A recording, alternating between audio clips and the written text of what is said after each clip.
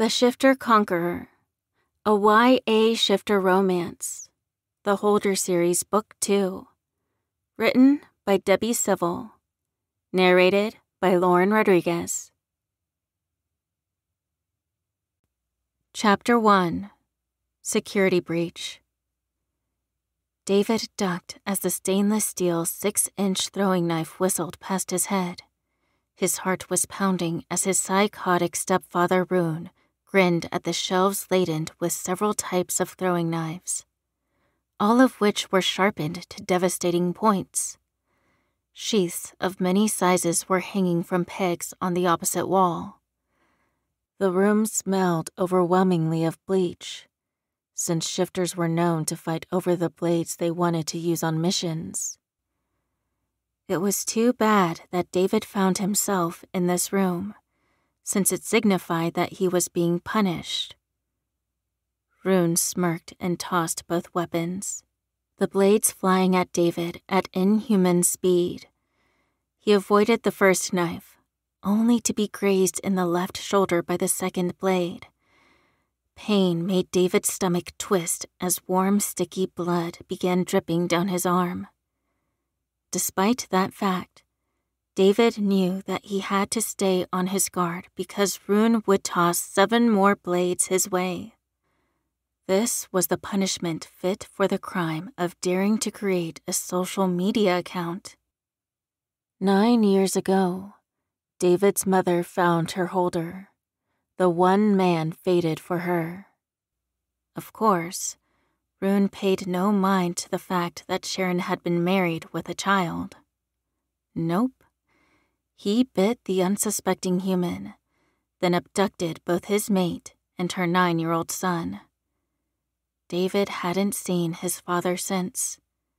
However, whenever Rune felt like being cruel, he would show David videos of his father's desperate pleas for his family to be returned to him. It made David sick. How, after all this time, his father never gave up on Sharon. If only his father knew how his wife had surrendered to her kidnapper without a fight.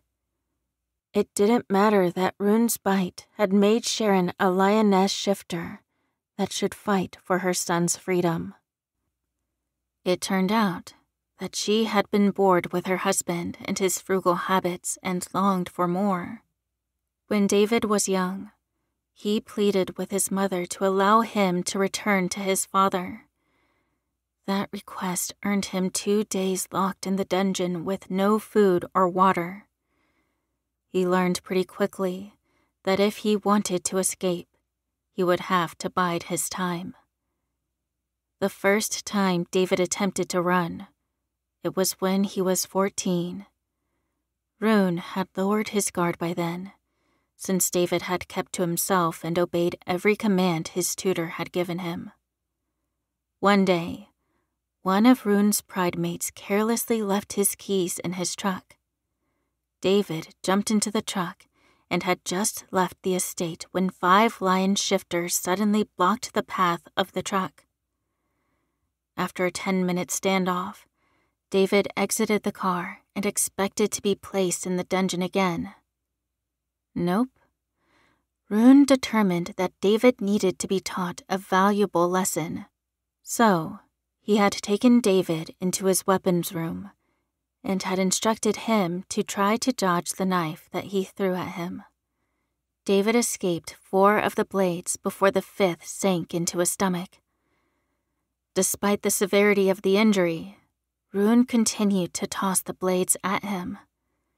A shifter doctor had saved his life that day, and David was determined to escape Rune and his band of shifter assassins. Presently, David was nearing 19 and still hadn't found a way out. He had assumed that the way to escape was to create a social media page to connect with some of Rune's enemies. Thanks to his ever watchful mother, David hadn't even gotten a chance to agree to the terms and conditions before he was yanked out of Rune's office chair and dragged into this cursed room. When are you going to learn, human? As long as my mate wants you here, you will stay. Rune snarled before making a show of winding up his arm and tossing the fifth knife at David's forehead. David flung himself to the floor, relieved when the blade fell to the floor beside him. As soon as Rune went to the collection of blades to select another one, David quickly picked up the fallen knife. It was lightweight and incredibly sharp. David knew that if he sliced Rune's throat, his mother would suffer. But after nights of sleep and food deprivation, waterboarding, and other torture methods, he didn't care what happened to her. All he cared about was returning to his father who had run for Congress in hopes of improving the laws centered around kidnappings of children. Rune had tried to assassinate the congressman once, but since a shifter worked on his security detail, the attempt ended with the assassin's head being mailed back to Rune's estate with a short note. Michael Jabber is under my protection. Don't insult me by attempting to kill him. David overheard his parents discussing the events two years prior.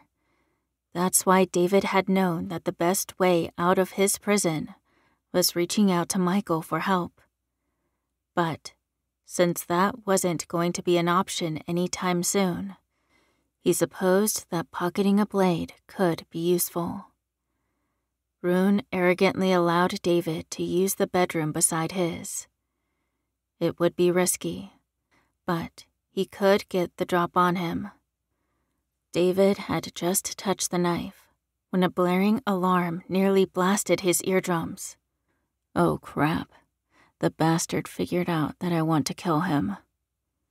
David thought to himself, but when his mother rushed into the room, her eyes wide with panic, David knew that something was going horribly wrong for the Katrine pride. He grabbed the knives closest to him and ignored the fact that one of them had drops of his blood on it. The alarm was so loud that he couldn't make out what his mother was saying to her mate. For a moment, David studied Sharon Sampson. She was tall, with long black hair, caramel skin, and curves that caused the males of the pride to lust after her. Her wardrobe consisted of short, barely there dresses and high heels. David had attempted to convince her to change her appearance, but that only earned him a night in the cold, dusty dungeon. David watched as Rune's eyes widened and he raced away. His mother stepped out of her death trap heels and tossed David over her shoulder, the quick movement causing him to drop his weapons. When Sharon sped out of the room, David's stomach protested as his mother's shoulder dug into it. He closed his eyes, hoping that preventing his eyes from seeing the rapidly moving floor would keep nausea from appearing. He grunted as his mother took a leap, which ended in the jarring impact of her feet hitting the floor. As soon as she landed, the smell of earth, unwashed bodies, and blood hit his nose. They were now in the dungeon. Without warning, David landed on the unforgiving concrete floor without mercy. He let out a groan after the impact. It was dark, so he couldn't make out his mother, who he assumed was still in the room. He supposed that the only saving grace was that the sounds of the sirens didn't reach this place. David, stay here, the Katrine estate is under attack. The last thing that I want to happen is for our enemies to use you against us. She said. This was a thing that David could never understand. Despite Sharon's cruel ways, she insisted that she loved David and didn't want anything to happen to him. And yet, Sharon allowed her holder to toss knives at him whenever he disobeyed one of his orders? And that would be such a terrible thing. David challenged. What could be worse than a stepfather that tosses knives at me and a mother that locks me in a dungeon? David waited for the slap that always came when he ran his mouth, but he heard a sniffle instead. Rune is right. You really are a weak human that doesn't have a backbone. No matter how much tough love I show you, you'll never get stronger. David wasn't surprised by Sharon's sentiments. His naive mother probably hoped that David would run toward the danger, despite the fact that he was a fragile human. But he couldn't care less about what happened to the Katrine Pride. If their enemies found him in the dungeon, they would either kill him, set him free, or find some other use for him. It was the thought that this unknown enemy could simply let him go that caused David to be a bit optimistic. Despite the fact that he had been kept away from humans for nine years, he was still hopeful that he'd find a way to escape. Isn't he always? David asked in the false, chipper voice that Sharon despised. Just stay here until someone gets you, Sharon ordered before slamming the dungeon door shut behind her. Benny rubbed his forehead as the tall redhead wearing a skin tight short dress paced his cluttered office. Her green eyes were calculating, which he could appreciate. That meant that she was more than just a body for a man to play with. He glared at the blank computer screen, wondering what he should do next. Benny, the choice is easy, the woman said, her southern accent dripping with honey. The footage that he saw was convincing enough.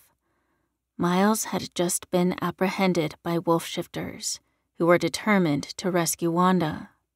He wasn't sure how Madeline had been able to sneak a hidden camera into the house of the Alpha of the Wolfen Falls, New Hampshire pack, but he was grateful that she managed it. But Benny wasn't sure what Madeline's motives were. She had made contact a few hours ago and revealed herself as a shifter. Benny had a few shifter friends in dark places, so hadn't been surprised by the existence of shifters. But what had thrown him was that a werewolf was interested in acquiring Wanda, the woman who knew where Cheyenne was. No, it isn't. You're asking me to allow the snitch to live?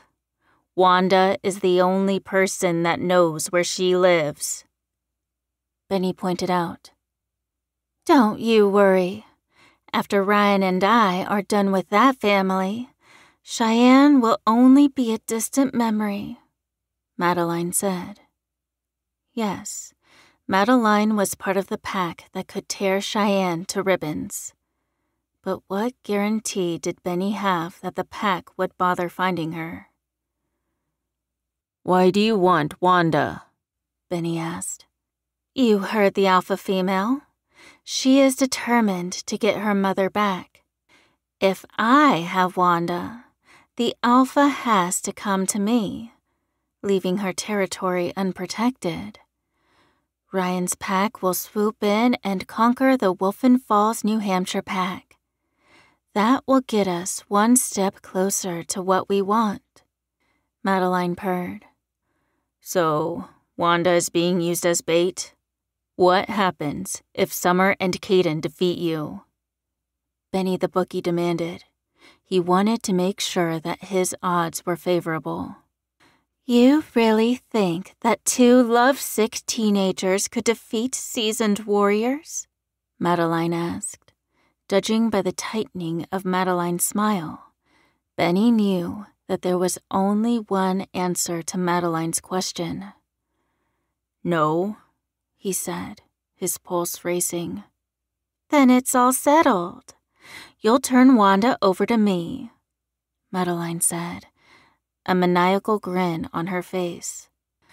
Madeline didn't say it, but he knew that an or else was hanging in the air. As long as my son stays out of prison, I'll cooperate with you, Benny said, which made Madeline grin. I'll do you one better, Benny. I'll ensure that Cheyenne Wilson doesn't have a chance to step foot in Florida again, the wolf said. And my men? Benny the bookie demanded. They will be unharmed unless they get in the way, Madeline declared. I can live with that, Benny said. Madeline grinned and exited Benny's office without a goodbye. Benny had no idea what Summer Wilson had gotten herself into. He was fortunate that when Cheyenne was eliminated, the police wouldn't trace it back to him. Lord knew Benny already had enough trouble on his hands. There was still the IRS to evade. It was too bad that the shifters couldn't make that problem disappear. Even if they eliminated the agent that was set to meet with him and his lawyer, the government would just send another man. Chapter 2 The Transfer Wanda opened her aching eyes when she heard the squeak of the door. Anxiety threatened to overwhelm her, but she stuffed it down, knowing that Benny the bookie wouldn't kill her. He was desperate to know the whereabouts of Cheyenne, her precious, brave daughter. It made Wanda feel guilty that part of her wished that Cheyenne could have agreed not to testify. After all, Brandon got what he deserved when Nick shot him. Wanda had the belief that if one lowered themselves by hanging with scum, they eventually became scum. But Cheyenne would never see things Wanda's way. She was going to do the right thing, no matter the consequences. Wanda loved her daughter. She really did but couldn't help but feel resentment as a figure walked toward her. Wanda, a familiar voice called. She shuddered and straightened, her back letting out a creak of discomfort. She blinked rapidly until her eyes adjusted to the light streaming into the room from the barred window. The man was average height, with a flabby stomach, ill fitting toupee, and beady eyes.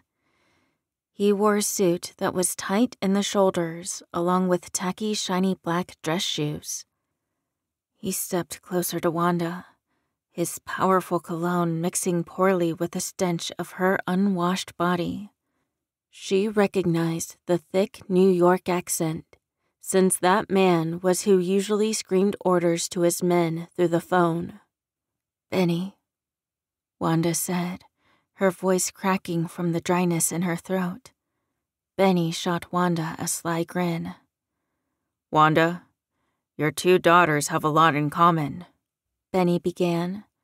She didn't bother disagreeing with the creep. Summer was soft, sweet, and a bit melodramatic. She was nothing like the bad tempered Cheyenne.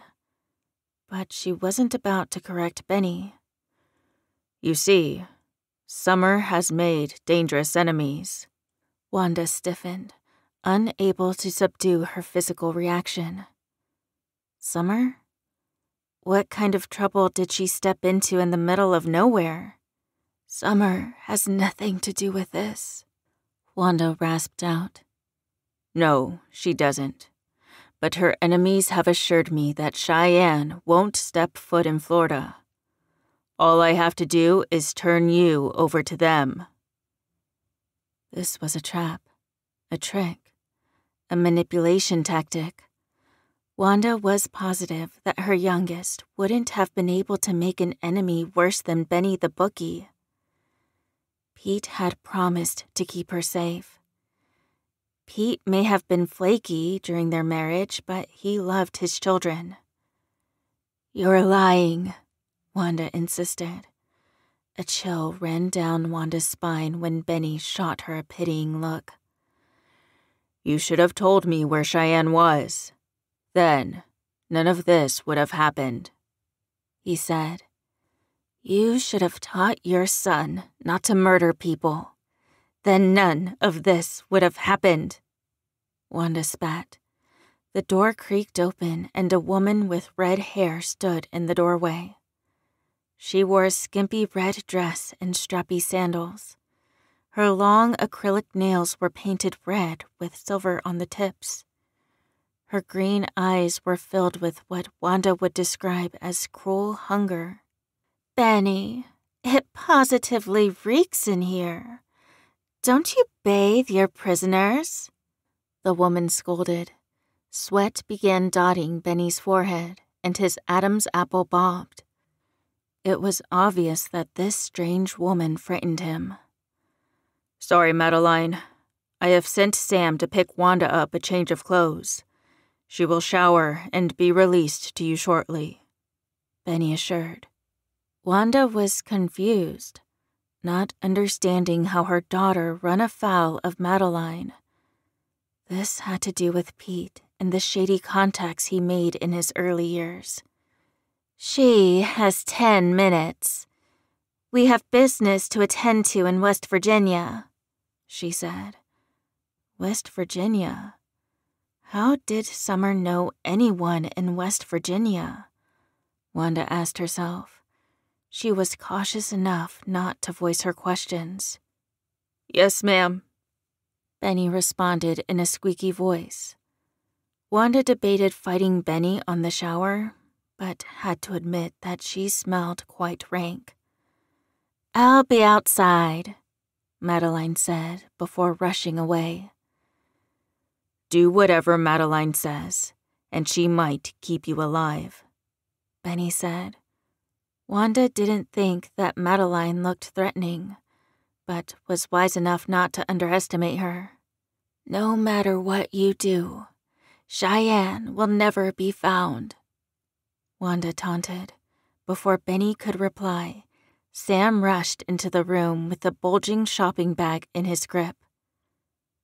He eyed Wanda with disdain, probably because she kneed him the one time he had gotten too close. He eyed Benny with a sour expression. I don't know why we're rewarding the woman with a shower and clean clothes, he complained.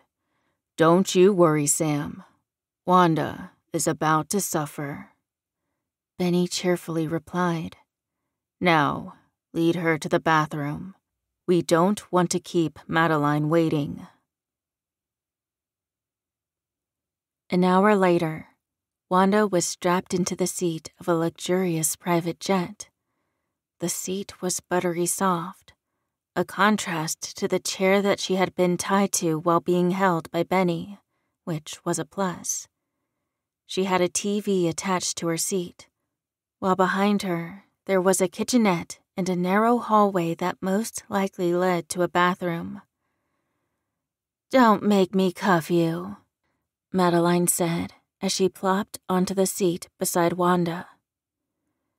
In fact, stay out of the way and I just might not blow your head off. Wanda scanned Madeline's body and didn't spot a bulge. But the warning in the other woman's eyes told Wanda not to take her threat lightly. Five men dressed in black suddenly boarded the plane, their bulging muscles telling Wanda that they would be difficult to fight off. Teague, what's the status? Madeline demanded.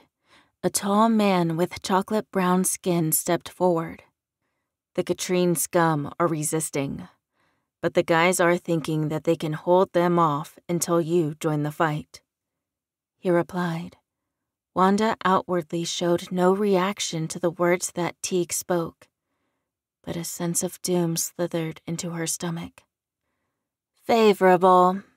I am hoping to do very little cleanup, Madeline said in a disappointed tone. Now buckle up. It's going to be a long, boring ride. Wanda's legs nearly gave out as she was escorted out of the plane by Teague, who had a firm grip on her elbow. It was night, and the area was lighted by a light post. Her heart raced as the scent of decay smacked her in the nose.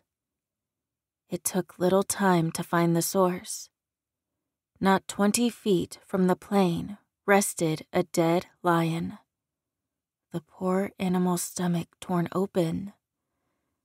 Fear instantly stayed Wanda's steps, the distant sound of growling telling her that she was probably going to be introduced to the owners of the estate's exotic pets.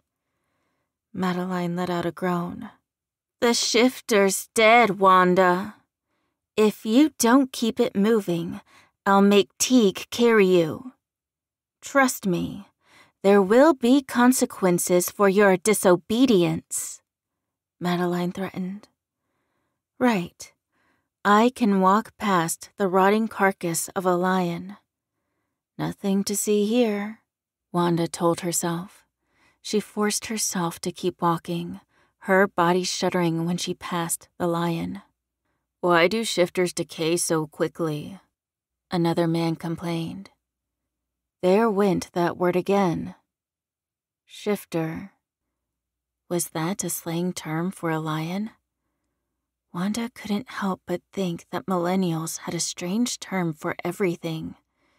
So she continued to walk on shaky legs away from the plane through a field that had to be a mile, and walked to a magnificent house with a winding driveway and a security gate. Floodlights allowed her to see a mansion with columns, floor to ceiling windows, and what looked like balconies on the upper floors.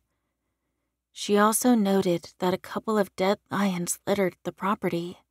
Or dead shifters. Not bad. Madeline commented as the massive front door opened and a shirtless man raced out of the house. His dark hair reached his chin, and his muscles were even larger than Teague's. His eyes were dark and filled with triumph. Ryan! Madeline squealed as she rushed into the shirtless man's arms. He reluctantly held her close, a tight smile appearing on his face. For a moment, Wanda hoped that she had been kidnapped by eccentric rich people who had a love for owning illegal wild animals. Maybe she could follow the rules and find a way to escape. But then a lion fell from the sky and tossed itself at Madeline. Wanda let out a startled scream, which caused Madeline to glance at the danger. Her eyes swirled with silver light and a bolt of electricity slammed against the lion, who fell to the ground not ten feet away from Wanda with a thud. Is she one of yours? Madeline demanded. Ryan grinned. Shift, Ryan demanded. Right before Wanda's eyes, what had to be a 500 pound mountain lion transformed into a woman with long black hair and brown eyes. Molly, you disappoint me, Ryan purred as he stepped forward. Hatred filled the woman's eyes as Madeline's partner walked over to her. Lionesses never follow weak wolves, the woman spat. The man tilted back his head and laughed so loudly that it nearly popped Wanda's eardrums. Blood began oozing from the woman's face which made the alpha grin with satisfaction. Well, judging by the blood oozing from your nose, I'm not a weak wolf, Ryan said. I will never follow you. You killed my alpha. I'd rather die than help you succeed, Molly cried, tears pouring down her face. That can be arranged, Ryan said, Wanda had hoped that Ryan was making a mere threat. But her eyes widened when his hands shifted to claws and he slit the woman's throat. Madeline let out a sigh. I'd rather not have any stinking bodies near my home, she said, before waving at the body, which promptly turned to ash. Wanda's vision grew fuzzy, her legs feeling too brittle to hold her weight but she forced herself not to pass out. She couldn't. Not when Ryan could possibly use his claws on her. Wanda had to stay calm so that she could observe. How had Summer gotten mixed up with shifters? What did this evil couple want with her? Did they know where Cheyenne was? How could Wanda possibly protect her children from monsters? Don't you worry, Wanda. I won't turn you to ash if you don't get in my way, Madeline said. Wanda let out a deep breath, then stared at the woman. Why am I here? Wanda shakily asked. Ryan smirked. Because Kaden Drake wants you. Your bait, he said. Wanda was going to ask who in the hell Kaden Drake was when Teak spoke up. Marcy told me that there's a dungeon below. Maybe I should get Wanda down there, in case any lions decide to toss themselves at us from the roof. Teak suggested. Sounds like a plan, Madeline said. Meanwhile, it looks like we need to hunt down the more unwilling new members of our pack. If we're going to conquer the bear shifters in Alaska, we need a more united invading force. Oh, goodness. There were bear shifters? And most importantly, why in the hell did this crazy couple want to conquer them? Wanda was in no position to ask questions. Quite frankly, she was too terrified to ask questions. Instead, she didn't fight as Teague scooped her up into his arms and quickly made his way into the estate. David had been locked in the dungeon for hours, but the distant sounds of the alarm had since faded. He wasn't sure what conclusion to draw. It was either Rune was defeated and another leader was named for the Katrine Pride, or he lived his parents had a mating bond, which meant that if Rune died, so did Sharon, unless she had the will to live without her mate. Sharon. David couldn't think of calling the woman mom, not after the hell she had put him through. Right after getting to his feet, David was shocked when the door swung open, letting in the light from the hallway. He blinked, his eyes trying to adjust to the light. Who are you? The man demanded as he entered the dungeon, a woman in his arms. David Jabber, David said, not daring to call himself a Samson. This shifter was unfamiliar, which meant that Rune had been defeated. And why are you here? he demanded. Bad luck, David quipped. To David's surprise, the man chuckled. I'll ask Madeline what to do with you. In the meantime, keep Wanda company. The man instructed before placing the woman on the floor and exiting the dungeon. As soon as the door slammed shut, a realization hit David. His mother was probably dead. Chapter 3 Controlling Assets. Empress Annabelle Wolfen of the Wolfen Empire was reduced to hiding on her territory because of some stupid, self righteous nutcase who thought that he could do better than her.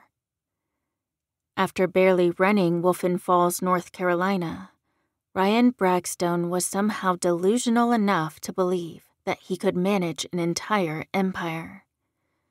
That's why she currently sat at the head of the dining room table in the main house, waiting for the other members of her council to arrive.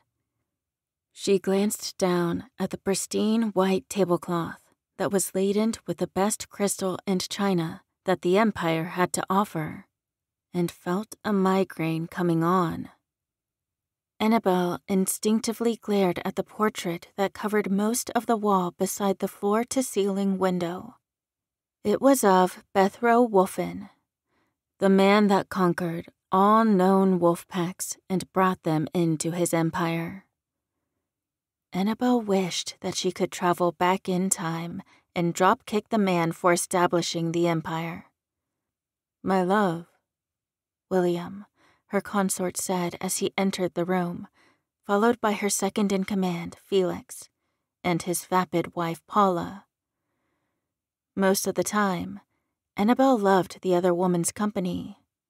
But in a time of war, she couldn't possibly understand what she could add to this discussion. Dylan, the head of security, entered last, followed by Mary, his homely mate. Annabel waited for the group to be seated before she spoke. Ryan has attempted to conquer Wolfen Falls, West Virginia, Annabel said. To her annoyance, Paula had the nerve to arch a brow. Attempted? I thought that Ryan killed the Alpha, she pointed out. Felix shot his holder a warning glance before Annabel could use an Alpha command on her. His Beta survived.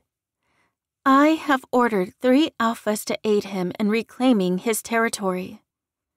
Annabel impatiently explained before moving on. It's a suitable solution for now. But what we need is to put together a strike team to take out Brackstone. He's too dominant for anyone to take on. Mary unhelpfully interjected as she shot Dylan a fearful glance.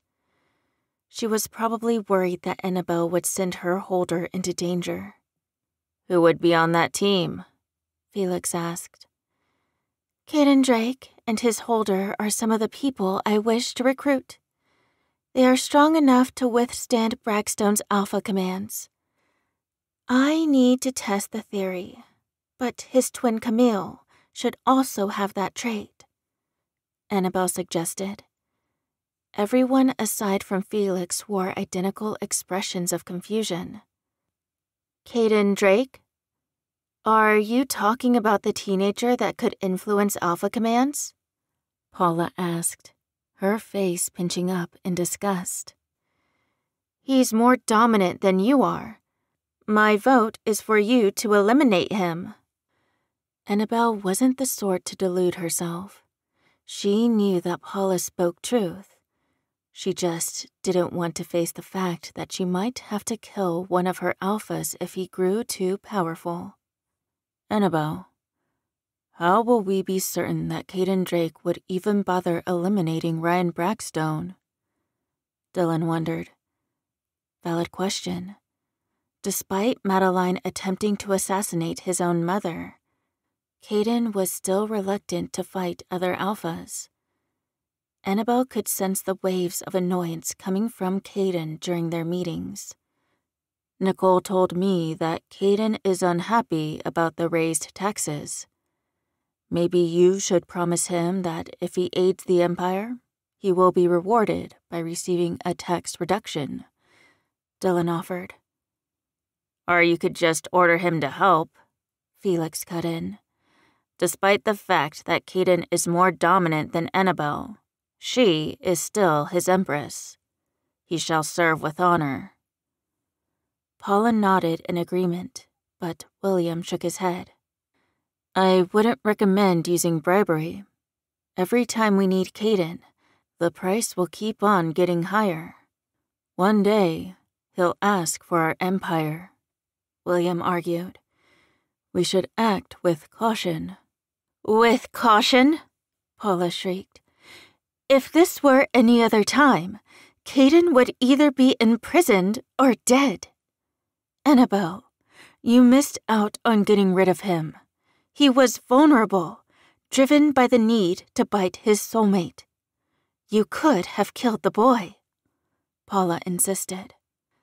He needs to be the one that defeats Brackstone.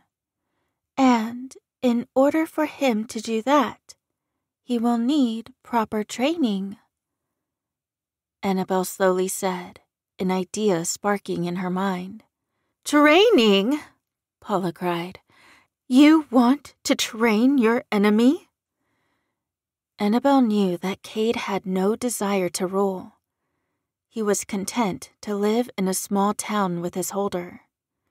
But unless Paula had a soul deep connection with the Alpha, she would never understand what motivated the Alpha. Felix, you will take the private jet to Wolfen Falls, New Hampshire to train Kaden. Will let Ryan believe that he has conquered Wolfen Falls, West Virginia. Once Kaden is deemed ready, you will send him to take out Ryan Bragstone. Paula's mouth dropped open. That could take months. You expect me to spend that time without my holder? She complained. Of course not. You're going with him. I believe that you are more than adequate to train Summer, Paula, Annabelle declared. So, you want me to train the person that could possibly overthrow me? Paula screamed. Annabelle was tempted to snap Paula's neck, but she calmed herself. Despite his stuffy nature, Felix was actually an excellent trainer. What are you two waiting for? Go train your charges. Make sure that they are safe and near you at all times, Annabelle said, her command strong.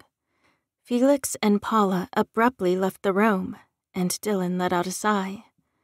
Empress, we need more than just Felix and Paula keeping an eye on the alpha pair. Should Mary and I go as well? Dylan inquired. Before Annabelle could contemplate Dylan's question, she felt a blast of heat flare in her body, which meant that one of her alphas was claiming a pack member. The heat continued to rise in temperature as if this alpha was giving blood to dozens of shifters at once. Annabelle closed her eyes and concentrated on the threads. She discovered the alpha easily enough. Ryan Bragstone. But the threats of the people that he was claiming were the wrong color. The thread of a wolf was a bright white, but these threads were silver. Silver, like. Ryan has just conquered a pride, Annabelle calmly announced. But there is only one pride in America the Assassins. Dylan replied. Exactly, Annabelle said, bitter realization filling her soul. Ryan was probably going to control the felines in order for it to be easier for him to eliminate the alphas of her packs. That meant that all of her alphas were in danger. I need to speak to Kaden Drake, Annabelle said, before picking up the cell phone that was hidden on her lap. She quickly called Kaden, who answered on the third ring. Empress? he asked. His tone was tense, as if he was in the middle of a stressful situation. You are not to leave your territory, not for any reason. Ryan Bragstone has successfully conquered Wolfen Falls, West Virginia. Since you are the only official Alpha, you must be on your territory at all times, Annabel ordered. That won't work, Kaden said. I'm preparing for a mission. This isn't a suggestion, Kaden. It's an order. Annabel sent her will into their bond, and Kaden let out a groan. Of course it is, he muttered. Is there anything else? Annabelle debated telling Kaden about Felix and Paula's arrivals, but thought better of it. She wanted her people to get an accurate view on how the young Alpha ran things. Maybe you should send your second in command on the mission. He is very efficient, she offered. I need him here, Kaden admitted. We have a sudden influx of new members, which means more taxes. I hope you understand, Kaden. It's expensive to fund a war, Annabelle gently said. You could just kill Bragstone and be done with it, Kaden suggested. Oh, believe me, Kaden. I have a plan for Bragstone. You'll just have to be patient, she said. Is there anything else? Kaden demanded. No, I'll let you know when I have more orders, Annabelle said before hanging up the phone. Paula glared at her maid, an unmated, submissive wolf. Her arms were crossed in defiance, which couldn't do. No, Paula was no alpha, but she was dominant enough to assert her own will. Kelsey, pack my bags, Paula slowly enunciated. The woman pushed her black hair away from her slender neck, revealing a bite mark. I found my holder. You know the rules, Paula. If your maid is mated, then you can't force them to work for you. Kelsey gestured to the mountain of clothes that rested on Paula's king size bed. You'll have to figure out how to pack all of that into two suitcases, she said with amusement. As Kelsey stepped away from the bed, Paula attempted to reach for her, but her body wouldn't obey. For a moment, confusion filled Paula, until she remembered that Annabelle had commanded her never to prevent a mated maid from leaving her employ. Bye.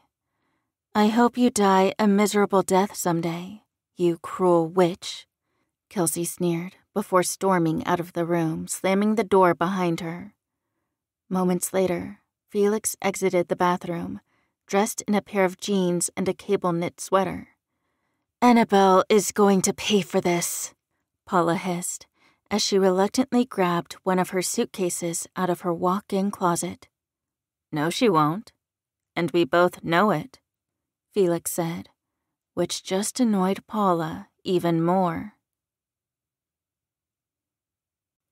Chapter 4 The Night Before I pushed the plate away from me, my stomach sated. It had been a struggle to force the food down but my body needed the nourishment. It had only been my first official day as a wolf, and problems had stacked up. The list was so daunting that keeping track of it all was starting to put me in a panic. First off, Benny the bookie kidnapped my mother in an attempt to locate my sister, the only witness to a murder. Some of Benny the Bookie's goons had actually dared to attempt to kidnap me. Those men were currently sitting in my holder's living room, being interrogated by my boyfriend, soulmate, and alpha. To make matters more complicated, my father's dead fiance's son, Larry, was in the guest room going through the turn. Why? Well, that was because my packmate, Roxanne, discovered that he was her holder, who is dying from an illness. Oh, yeah, let's not forget that a war was brewing. Some power hungry alpha was trying to take over the Wolfen Empire. How anyone could breathe under so much pressure was beyond me. Hey, baby, Cade said as he walked into the room. The exhaustion in his eyes concerned me. I stood and went to him, my arms wrapping around him. His arms were warm, and I felt like I was home. My wolf urged me to claim him so that our bond could be secure. But my wolf was nuts. After I found a way to save my mother, I would worry about marriage. What have you decided? I asked as he began rubbing my back. That you and two trusted packmates need to go save your mother, he figured. I don't want to let you go, since you haven't shifted yet. But if you shift now, you'll be too tired to go. Who are you sending with me? I asked. Cade's arms momentarily tightened. He obviously didn't want to let me go but knew that I had to save my mother. Zack and Camille. I would go with you, but our dear Empress just ordered me to stay on our territory. You have to go so that your wolf will guide you to your mother. If those men lie. But you don't want me to go, I figured. Cade let out a sigh. As much as I want to beg you to stay, I can't ask that of you. You can't leave your mother in his hands, he reluctantly said. Do we have a plan for how to use Benny the bookie's thugs? I asked, eager to save my mother. Miles, the guy that attacked Jeannie, will tell the boss that he ran into trouble, but he was able to kidnap you.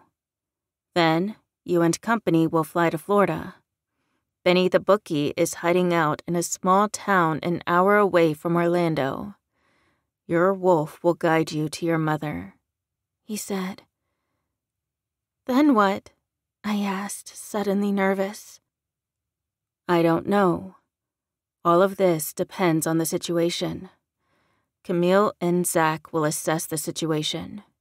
He responded. Okay, I said. How are you paying for the private jet? That was your father's idea. He already chartered it, Cade replied. You leave tomorrow morning. So I'm expected to sleep tonight? I ask in a shaky tone. You need to sleep, baby. I need you to go into that situation with a clear head, he insisted. My fingers ran through his hair, my instincts craving a taste of his mouth. But I knew what my wolf really wanted, and on some level, I wanted it as well. A deep connection with Cade would feel wonderful. I couldn't lie to myself. My body was yearning for his. Summer, what are you thinking? Yeah, right. I couldn't tell Cade about what was on my mind. What if someone overheard? What if my father overheard? I only sensed Blake in the living room with the three monsters that had attempted to kidnap me. My father was upstairs, sitting by Larry's bedside. Since the money grubber had been sick before Roxanne bit him, the turn was going to take a long time. I was thinking about claiming you, I softly admitted. The dead silence wasn't exactly a confidence booster. I peered up at Cade and realized that his eyes were filled with desire. Well, if he continued to look at me like that, resisting him would be difficult. What about it? His husky question gave me butterflies. I wanted to know when it would happen, I said my eyes boring into his. Kaden gave me a soft smile that showed his fondness for me. I really want to claim you, Summer. I. Kaden shook his head, and it took a few seconds for me to figure out why. Footsteps were coming toward us. Despite that fact, I still held him. Cade was my holder, and I wasn't releasing him for a second especially since we'd be apart soon. Kiddo, Larry's turning is going to take a while. My father said as he entered the kitchen. It had been a couple of hours since I last spoken to him. I reluctantly pulled away from Kay to face him. He actually scowled at my holder. I always find you in Cade's arms. He's my holder. When you find yours, you'll understand, I argued, my instincts pushing me to defend our relationship. Moments later, I regretted my words when sadness flashed in my father's eyes. That may be the case, but you're still my little girl, he reminded me. Fair enough. Thanks for chartering the private jet, I said, giving my father a smile. Wanda was my wife once. I don't want to see her hurt. As I was saying, Larry's turning will be a while. I want to be there for him. I don't feel comfortable with you being alone. I was thinking I would be okay with you staying here, provided that Kaden's door stays open at all times. He said. Excitement at the thought of a sleepover nearly caused me to dance for joy. That can be done. But your daughter and I no longer have to go on those dreaded group dates. You know that I can be trusted. Cade firmly responded. I knew that something was up with you. Fine. You aren't a drug dealer, but you're still a wolf. Your sister did save my life, so I suppose that you wolves aren't that bad. My father grudgingly admitted. And sure, you can take Summer on dates. But like I said, none of this crazy moving in together crap. Dad, I'm going to be the female alpha of this pack. Cade and I are holders. We're going to move in together at some point, I argued. My exhausted father rubbed his eyes. Take it one day at a time, kiddo. Just remember, You'll have to explain all of this to your mother after you rescue her. My father warned before leaving the room. I glanced at Kaden, who had an amused look on his face. At least we can go on dates by ourselves, he said before pressing a kiss to my cheek. When I get back, you better take me to the fisherman, I said, which made my boyfriend chuckle. I will also guide you through your first shift, take you for long walks, watch movies with you, and. A thump from the living room caused my boyfriend to curse. We both ran into the room, our eyes landing on one of Benny the Bookie's goons. He stood, his hands free of bonds. The thud came from someone slipping through the window. Since I was the closest to the doorway, I sped out of the house, my canines elongating. Miles, the smallest of the three, insulted us by trying to get away. I felt the presence of a pack member running up ahead, although my connection was too new, so I couldn't identify the member. But my eyes adjusted to the dark as I sprang down the street. Miles was tackled to the ground by Zach Anderson, the guy who had kept me company during homecoming. I grinned as Zach pinned the man. Thanks, Zach, I said, not even winded. Zach glanced up and shot me a wide grin. No problem. It looks like this one has to be locked up. He noted. Let me up, Miles squeaked. Not after what you did to my friend, I said, the anger making my hands morph into claws. Zach whistled. If you don't shut up, my alpha female might just slit your throat, he warned. She wouldn't do that. She needs me to find her mother, Miles said, his heart rate increasing. I heard footsteps behind me and spun around. Lisa was standing there, a bored expression on her face. Her wolf was probably annoyed that she had to deal with Miles. Zach, knock him out. We need to secure him. Lisa huffed. If I don't call Benny back in half an hour, he'll think that I failed. He will move your mother or kill her. Please, Summer, I need my phone. Miles begged. Will a text message do? I asked, after considering for a moment. No, he'll need me to check in, Miles pleaded. Why would you care if my mother is killed or not? I challenged, not believing this weasel for a second. I'm not a killer. I noticed that Jeannie's wounds were healing. You got to believe me. I'm the security guy, the cameraman, the lackey. Benny is running out of assistance because Cheyenne's information caused a lot of them to take plea deals. It's only a matter of time before Benny gets implicated in Brandon's murder. Miles said, which sort of sounded true. But my instincts told me not to trust this man for a moment. We only need one of them, Zach told me, his eyes hard. True, but this one has been more helpful, I decided, feeling queasy about killing someone in cold blood. My instincts told me to kill when necessary.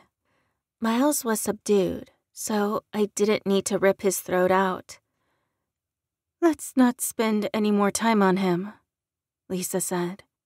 I felt something bubble in my stomach. Moments later, the sound of snoring filled the air. Zack stood and shot an expression at Kaden's mother. Nice. You made him fall asleep? Zach asked, impressed. I manipulated a few chemicals in his body, Lisa said, shooting us a soft expression. I wish I were a mage, Zach wistfully said. No, you don't, Zach. Believe me, Lisa said before walking back into the house.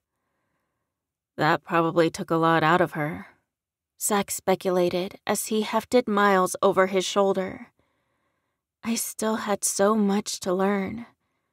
Kaden had told me that someone was considered a mage when they could manipulate energy. It sounded like a cool gift. But Ryan Bragstone was targeting mages, so maybe it was a good thing that I wasn't a mage.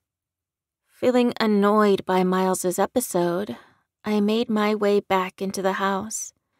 Lisa thankfully zapped our other two prisoners so that everyone could get some sleep.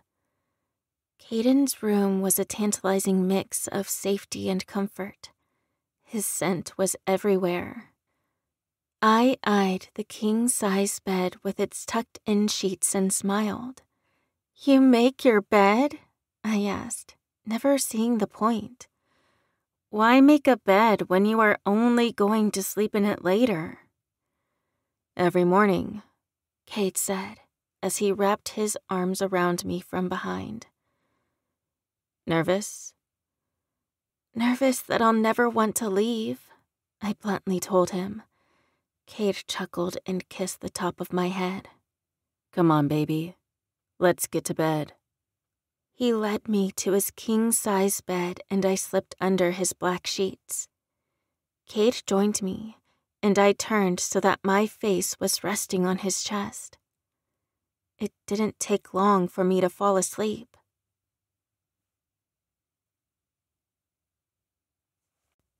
Chapter 5 The Send Off A shake to the shoulder made my eyes pop open.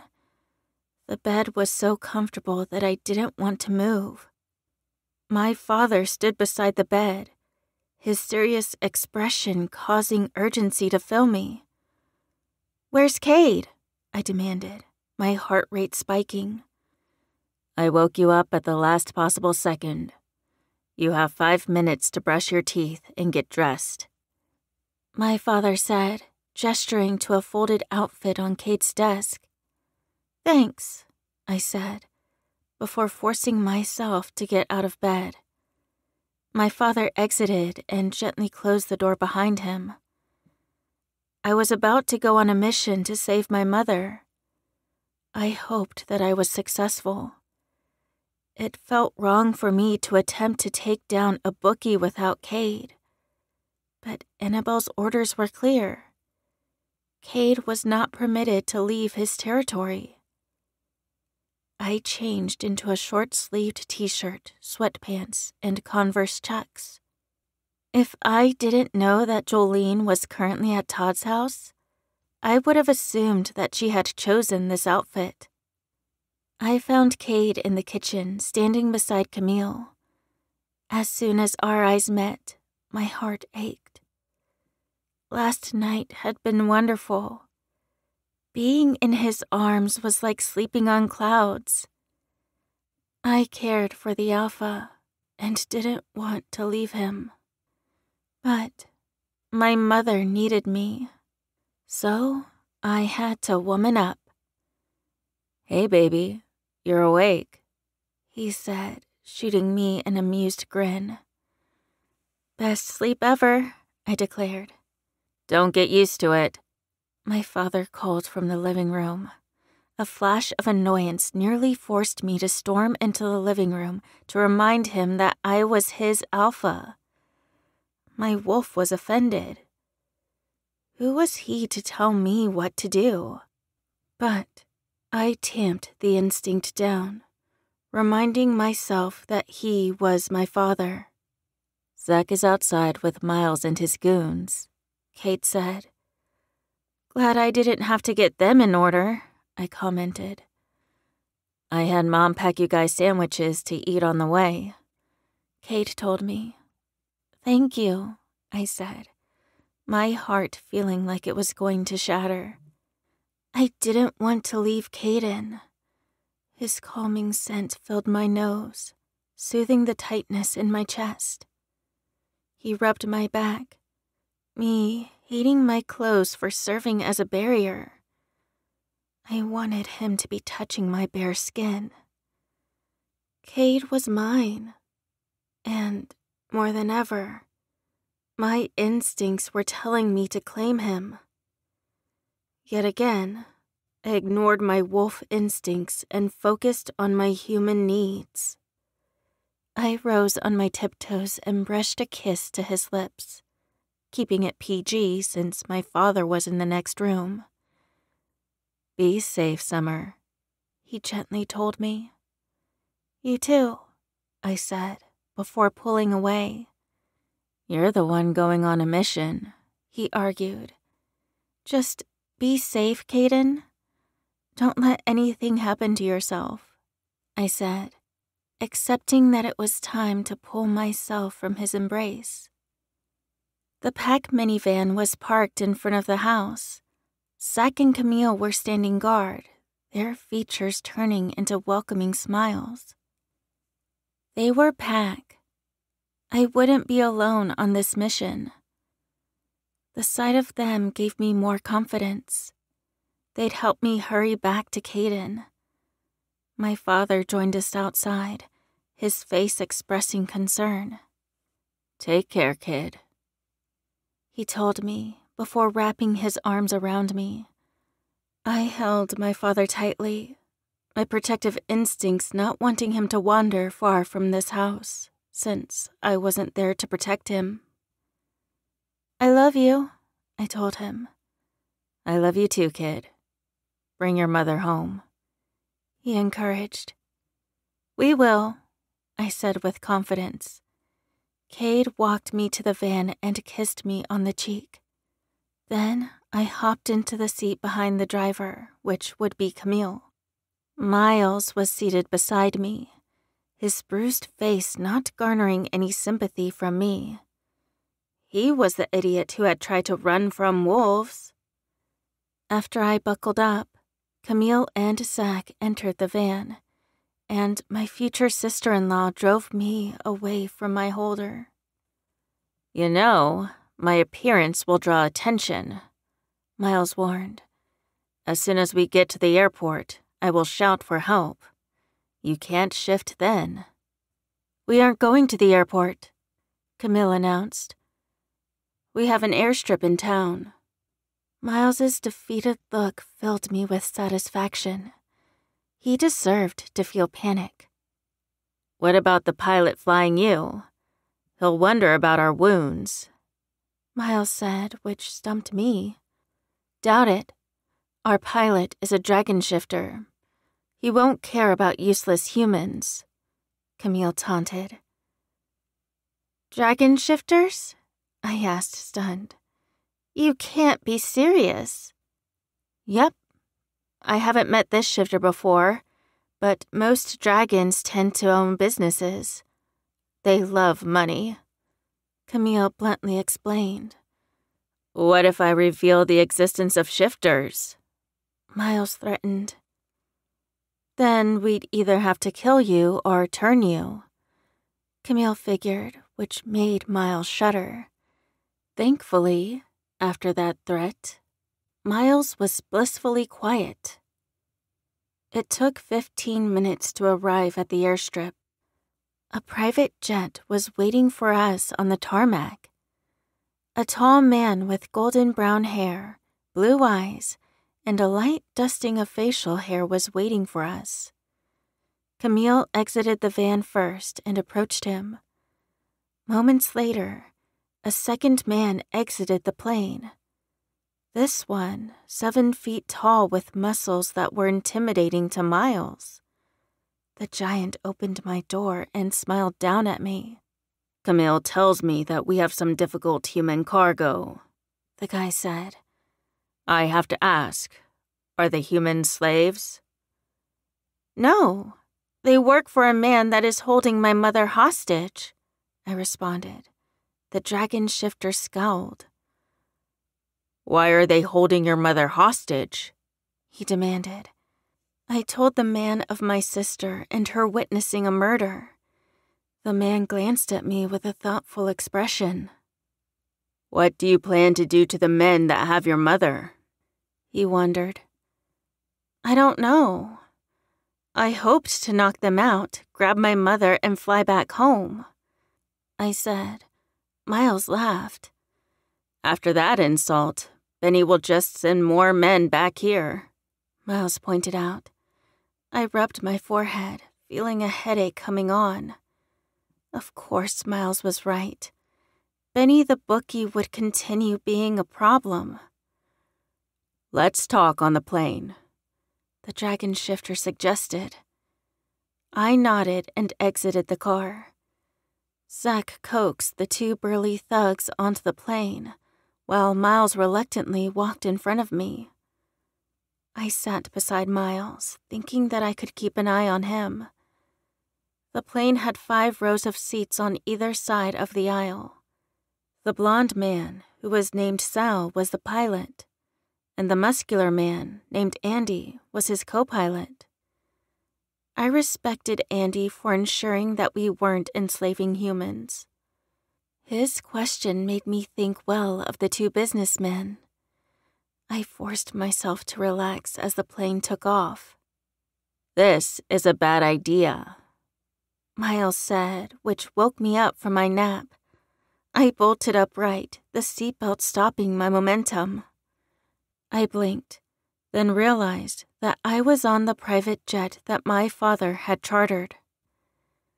Do you ever shut up? Camille asked from her seat across from me. She was seated beside one of the less abused goons. I'm trying to help here, Miles said.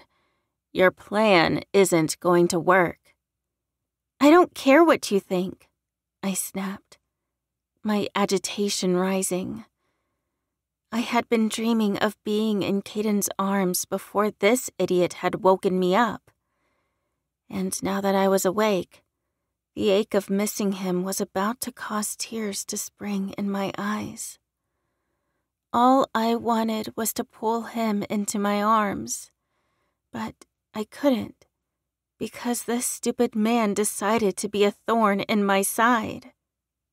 Maybe you should call Cade after the plane lands, Camille suggested. It would have been nice to hear my holder's voice, but then something else occurred to me. We need to grab my mother and leave as soon as possible. I don't want to spend any more time away from Cade than I have to. Camille nodded in understanding. You think that our boss is going to give up Wanda so easily? He's got her with one of our more sociopathic associates, said Mitch, the man who was being guarded by Camille. I hope you're willing to kill for your mother. I don't have a problem killing, Camille said, her dark eyes hard. Yeah, you do. I know for a fact that you don't need us alive for this mission. Miles is enough, he argued. I said that I don't have a problem with killing. It doesn't mean that I'll kill needlessly. I'm above that. Camille snapped. I don't get your point, Mitch. Zack cut in. Do you want us to kill one of you? I'd like to know where I stand, Mitch said. Are you guys going to kill me once you find Wanda?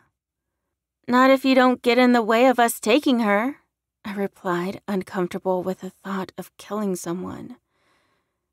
You know I can't promise that. If the boss tells me that I have to attack, I will. Mitch said. Why? I asked, curious. Because I don't have a choice, Mitch admitted. I'm a felon who didn't graduate high school. Benny pays good money. I have a family to support. I wished that I could give him options. Camille rolled her eyes. There's always a choice. Who in the hell told you to commit a felony? She challenged. My daughter needed medicine that I couldn't afford. I broke into a drugstore, held someone at gunpoint while another worker filed the order for me. He argued. Camille wasn't moved, though I did see where Mitch was coming from. If I had to break the law to save someone I loved, I'd do it in a heartbeat. I robbed a bank, said Carlton from his seat beside Zack. I was tired of being poor. So you were greedy? I asked, not feeling bad for the other man. Easy for you to say. Look at you, Summer. You're riding in a private jet. You have parents that are able to provide for you. Where I was stuck working a dead end job. The other man snapped. Miles rolled his eyes. Carlton, if you're trying to get Summer to relate to you, it won't work, Miles warned. What's your story, Miles? I hotly asked. I do what I have to, Miles snapped. So torturing my friend was you doing what you have to do? I asked, disgust in my voice. The same way you tortured us, Miles accused. Oh, please. I think what we did was more intimidation than torture, Camille argued. Keep telling yourself that, Camille. Miles taunted. I could gag you, Camille threatened. You've been annoying during this flight. We are going to land in ten minutes, Sal announced over the speaker. Hearing those words filled me with nerves. Would I be able to find my mother? Would I have to kill anyone? Would Mom accept the choices I made? I couldn't imagine her being angry with me. After all, I'd be the one saving her. But I knew that people sometimes feared what they didn't understand. No matter how she felt, I was going to be strong enough to get her to safety. We'd figure everything else out later. Chapter 6 Surprises Kaden stood on the front lawn of his home, questioning the wisdom of his choice. The Empress's alpha commands were like suggestions to his wolf he could have pretended to obey, then do as he pleased. But there was something in Annabelle's voice that told him that leaving his territory unprotected would have severe consequences. But what of his holder? Summer was his light, his heart, the other half of his soul, and she was so far away. Why are you standing out here? Roxanne asked, her voice startling him. Cade forced down the urge to growl, angry that someone caught him by surprise. He turned to see the woman whose skin was pale. Her green eyes had prominent shadows under them, and her red hair was greasy. He took a whiff of the she wolf and couldn't help but wrinkle his nose. I'm surprised that you're out of bed, Cade commented. Roxanne lifted her chin as her shoulders squared. I get that I should have asked you before turning Larry. But he was dying, Cade. I'm surprised that you hadn't noticed that before. Roxanne's accusing tone annoyed Cade to no end, so he spoke without thinking. I didn't care to notice. The only time I had the displeasure of dealing with Larry, he was nagging my mate about some inheritance he had no right to. Cade replied. The disappointed expression on Roxanne's face made him feel a bit guilty. No one wanted to think that their holder was nothing more than a greedy bastard. There has to be more to the story, Roxanne insisted, as if his opinion of Larry really mattered. It's not me that has to spend the rest of my life with him, Cade said as Blake joined them. Kaden, what should we? Blake blinked in confusion when a Lincoln Navigator pulled into the driveway. Cade would have dismissed the car's occupants as lost humans if it weren't for the shifter vibes that emanated from the vehicle. Dread filled Roxanne's face as she glanced between her alpha and beta. You're punishing me for biting Larry? Roxanne asked. No. Why? Cade snapped not looking forward to dealing with strange shifters. Because that's the car of Empress Annabelle II, Roxanne pointed out. Cade was tempted to shift when Felix exited the driver's side, followed by his holder. They both looked as if they had been sucking on something sour for weeks. The couple were dressed in matching designer jeans and sweaters probably to combat the chill in the air. Blake let out a snort, which earned a disapproving glance from Roxanne.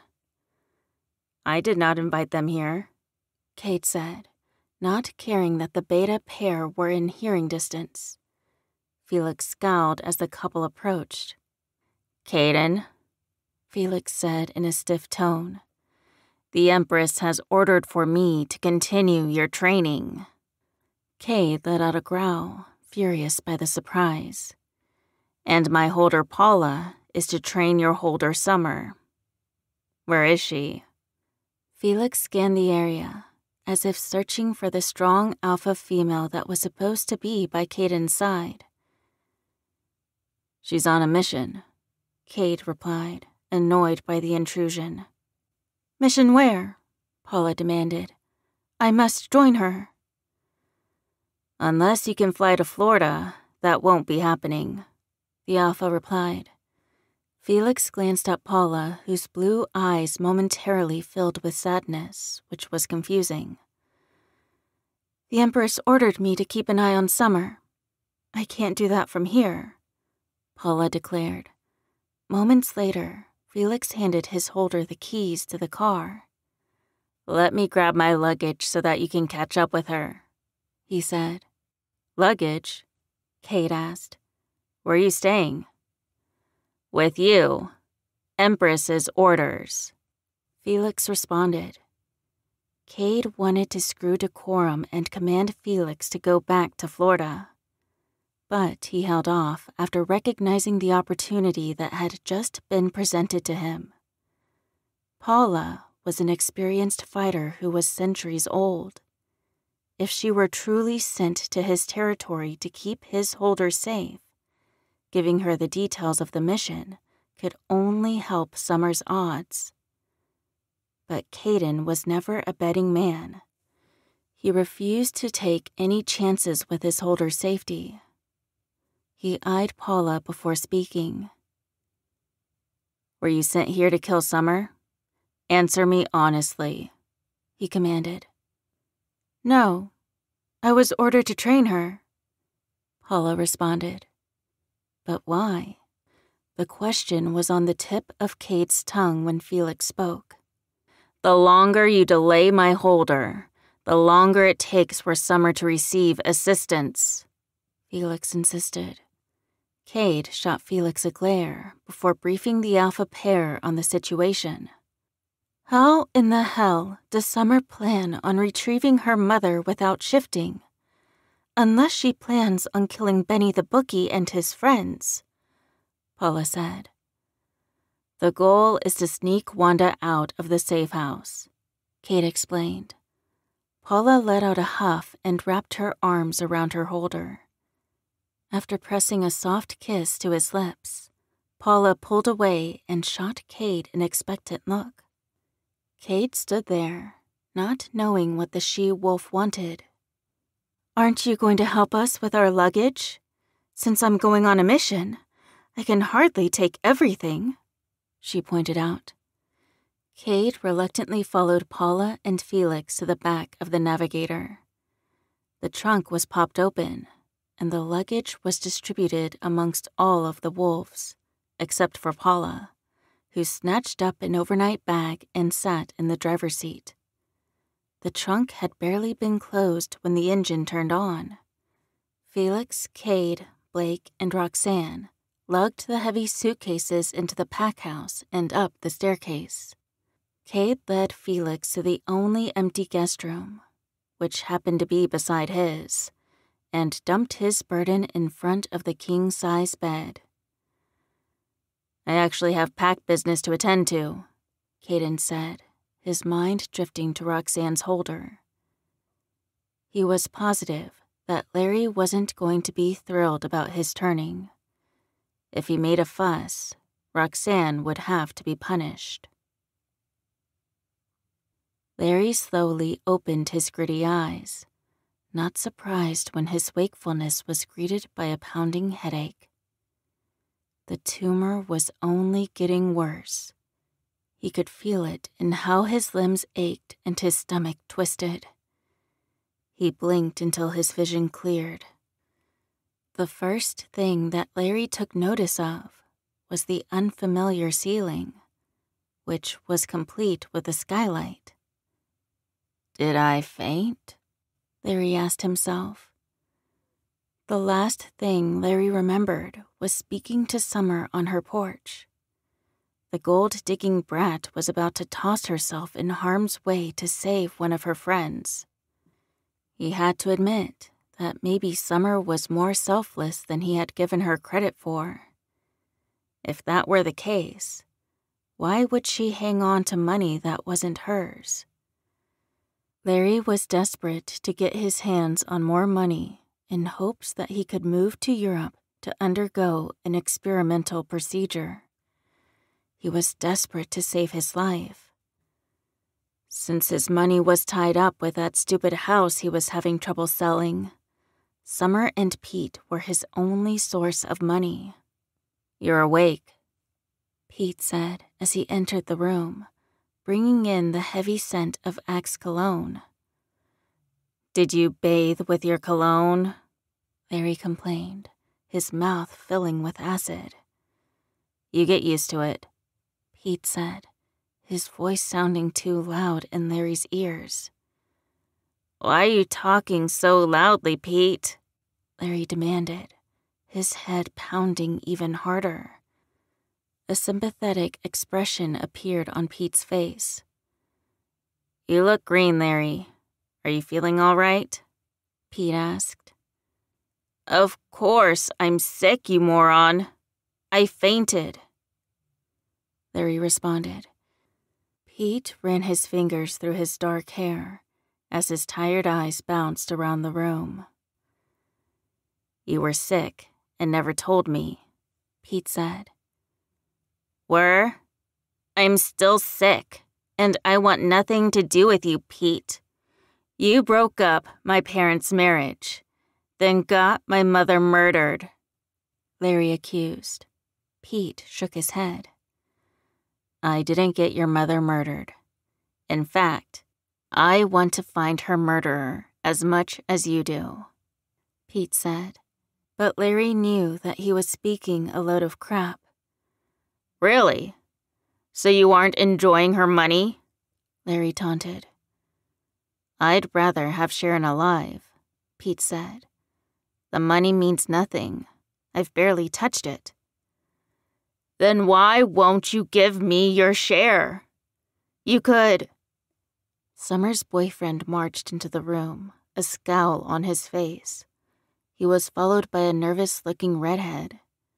Larry didn't blame her since it was nerve wracking when someone fainted out of nowhere. Did you tell him yet? The redhead asked, her voice shaking. Tell me what? Larry demanded. I didn't get that far, Pete said, annoyance flashing across his face.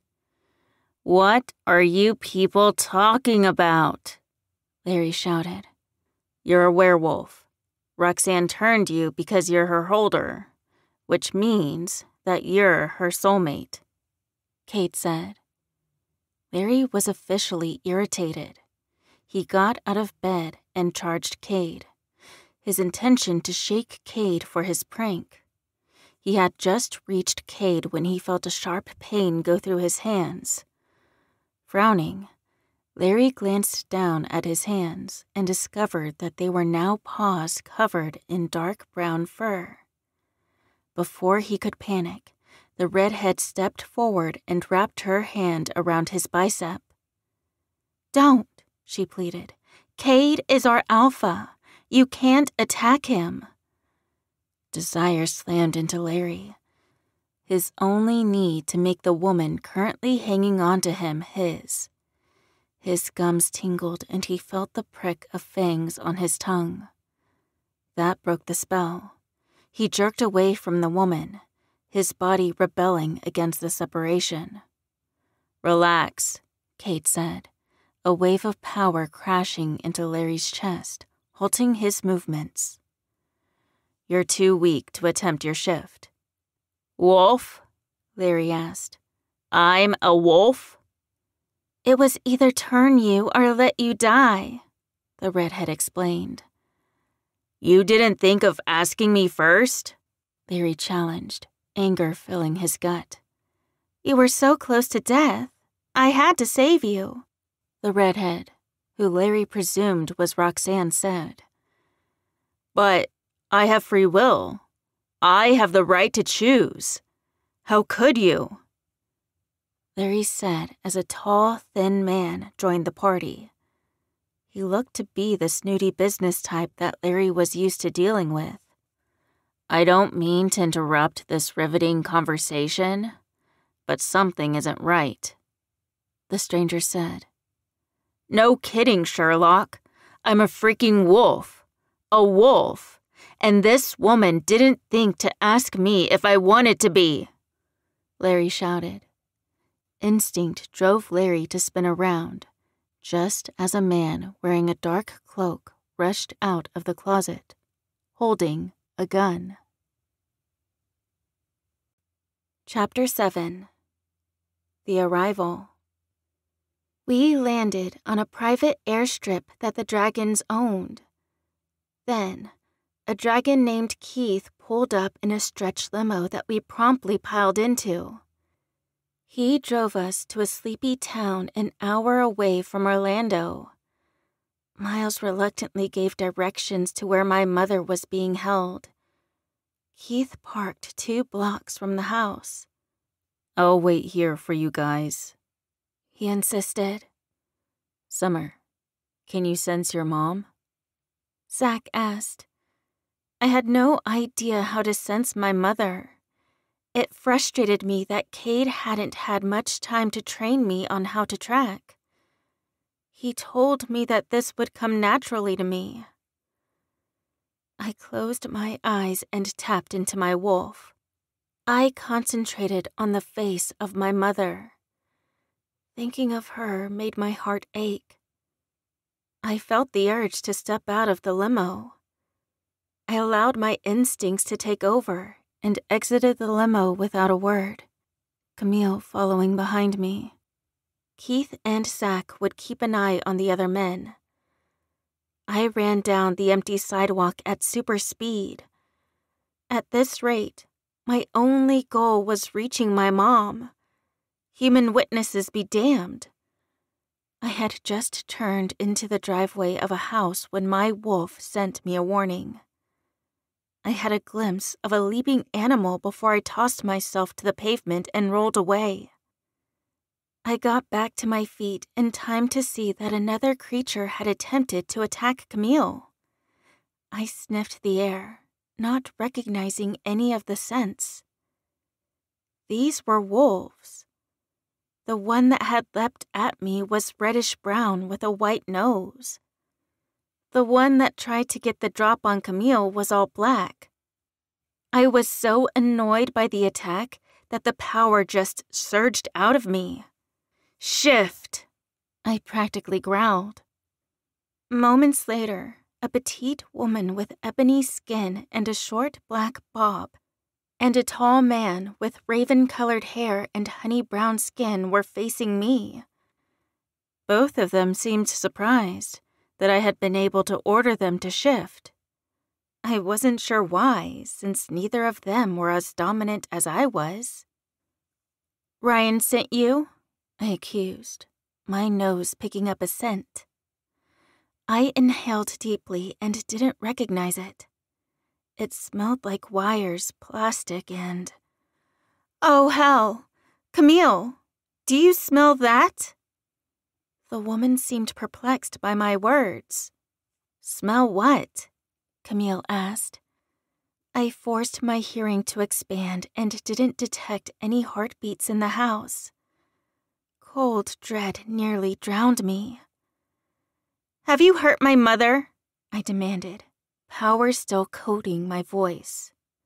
No, we arrived two minutes before you did. She was gone by then. The man who had a southern accent responded. His partner glared at him. Take a nap, I ordered, having a feeling that time was of the essence. The shifters dropped to the ground and began sleeping. Camille shook her head, disbelief on her face. I think that the napping couples are alphas, and you just commanded them. Camille pointed out. I couldn't care less about what I managed to do. Something didn't seem right. I racked my brain. But what was it? Yes, I smelled the horrid wire smells, wet cigarettes, and. A pop filled the air, and I let out a scream as pain exploded in my upper arm. The roof! Camille screamed as blood oozed down my arm. The scent of my blood, which was mingled with something acidic, was filling my nostrils. My body grew heavy as I attempted to move. We were sitting ducks out in the open without an obstacle to block the sniper's view of us. Poison, Camille hissed as she yanked on my arm. They poisoned you. Without warning, my holder's twin tossed me over her shoulder and ran. My wound was at times jolted by her footsteps. Pain filled every fiber of my being. It even hurt to draw breath, which felt like gurgling glass. What happened? Keith screamed. Ambush, Camille yelled. Summer was shot with a poisoned bullet. Put her down, Keith instructed. By then, my vision was blurry. All I knew was the pain that was torturing my body. I groaned as my sensitive skin made contact with the concrete. We have to get out of here, Camille insisted. That assassin could have followed me. Doubt it, Keith said. It was obvious that the target was your alpha. The door to the limo opened, and I could sense Zach coming toward me. I have the first aid kit. What do I need to do? Zack asked.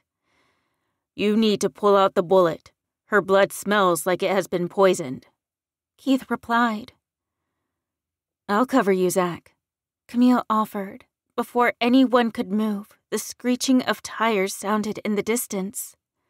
A car drew nearer, which told me that humans were probably going to stumble upon us. That was perfect. What in the hell were we going to tell them?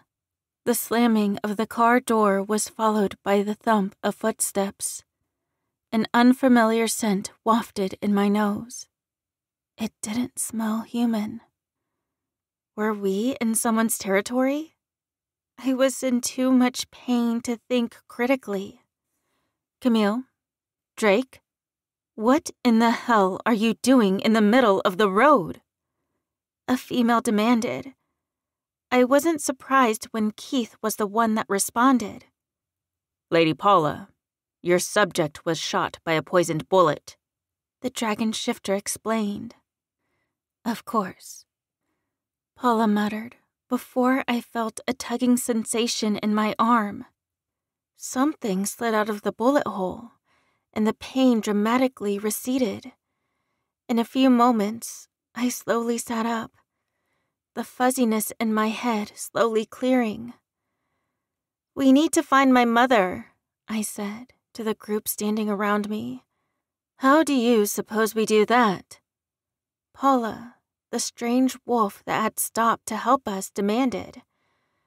I took a look at her, trying to determine how to play this angle.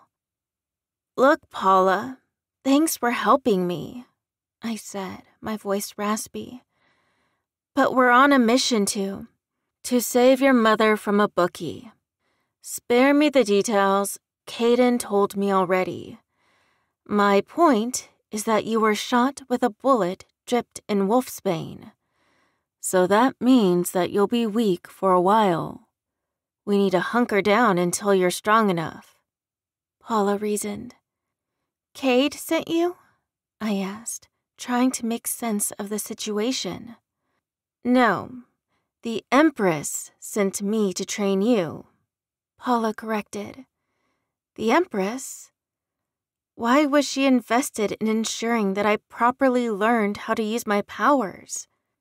We had only spoken on the phone briefly when Kaden lost his crap after I had nearly been attacked. It wasn't like we had a sit down conversation. Could I trust this woman? My lady, what do you propose? Zack asked in a humble voice. Camille crossed her arms over her chest, looking unimpressed by the new member of our team. What do we do with your car? Camille wondered. It's a rental. Someone from the palace can pick it up. Paula responded. It must be nice having servants at your beck and call, I thought to myself. Before I could move, thumping sounded in the distance. I let out a groan, knowing that it had to be shifters. Paula let out a hiss, then gestured to Camille. Get her inside the limo, she ordered. Moments later, I was scooped into Zach's strong arms and carried to the limo. The door was pulled open by Keith and I was plopped in. I slid in beside Miles, who looked unsurprised by my bloody state. I told you that the boss wasn't going to give Wanda up so easily, he commented. Before I could even comment, a lion sped down the street. Its trajectory made clear when it leaped for Paula. Moments before it would have mauled her, the wolf shifter lifted a hand and a bright bolt of electricity slammed into the lion. It fell backward and landed on the ground. Miles swallowed. Shifter? He demanded. Yes, I answered as the lion changed forms. The lion shifted into a tall, thin, naked man who got to his feet and ran off. As I watched him go, my heart began to race. Why had shifters been in front of Benny the Bookie's safe house? We're missing a piece of the puzzle, I said, as Paula, Zack, and Camille joined us in the limo, which was getting tight. We should get rid of two of the prisoners, Paula ordered.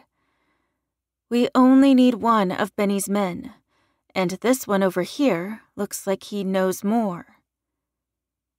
You haven't even spoken to them, I objected, wanting every possible link to my mother around. Dear, it's all about the scent, Paula commented. Those two are afraid and overwhelmed but your friend seems to be annoyed and regretful. I can scent emotions. Well, wasn't that perfect?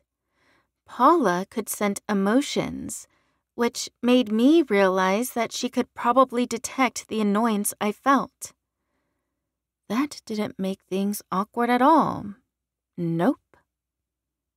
If you drop them off, they will only tell Benny the bookie that we're looking for Wanda. Zack pointed out. Why don't we just kill them and be done with it? Paula asked. Neither man has a true purpose. I'd much rather be dropped off, Mitch interjected. Trust me, I won't say a word to Benny the bookie. Is Benny still alive?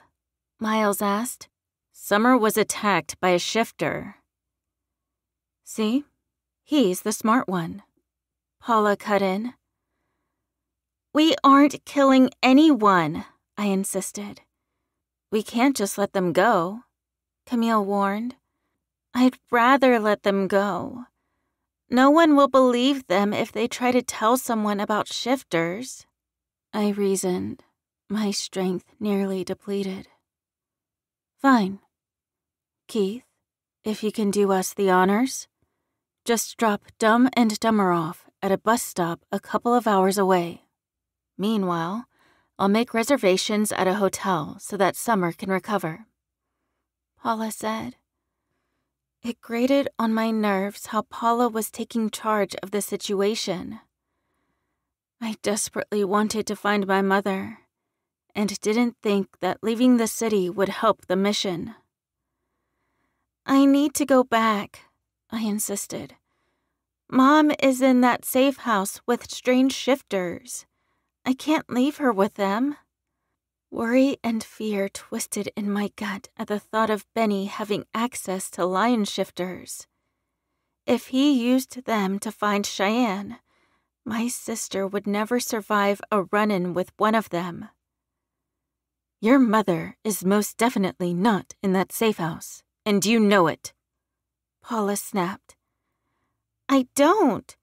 Camille, did you smell any humans with a similar scent to Summer in that house? Paula questioned, cutting me off. Camille, who was seated in the seat across from me, shook her head, regret filling her eyes. I only smelled the shifters, she confirmed. Which means that Benny the bookie is either dead or hired shifter mercenaries. Judging by the fact that a lion shifter tried to maul me, it's probably the latter. Paula, the know it all, explained. And what makes you so sure? I demanded. Because there is only one pride in North America. They're called the Katrine Pride, named after one of the greatest feline assassins. This pride assassinates humans and shifters alike for the right price. Paula explained, which pissed me off. And the Wolfen Empire did nothing about them? I snapped, glaring at Paula. Most wolf shifters aren't trained fighters, Summer. Not even you stand a chance against a Pride member of the Katrine Pride. And you're an alpha. Paula argued. But they're killing defenseless humans. How is that right? I protested, anger running through my veins. It isn't right, Camille agreed. But we have no way to solve the problem. The Katrine Pride could slaughter our pack if we went up against them. I doubt that even Kaden or I could take one of them on together. Kaden's twin was practical enough for me to respect her opinions. If she didn't think that our pack had what it took to fight off the Katrine Pride, then we didn't. But what if one of the lion shifters had my mother? Then what? Chapter 8 The Price David awoke to someone shaking his shoulder. Since the movement was gentle, he knew that it wasn't his mother waking him up. His tired eyes flew open, the darkness of the dungeon greeting him. Damn. I'm still in here? David asked. You a shifter? A woman demanded as soon as her hand left his shoulder. If I were a shifter, I wouldn't be stuck in here. Who are you?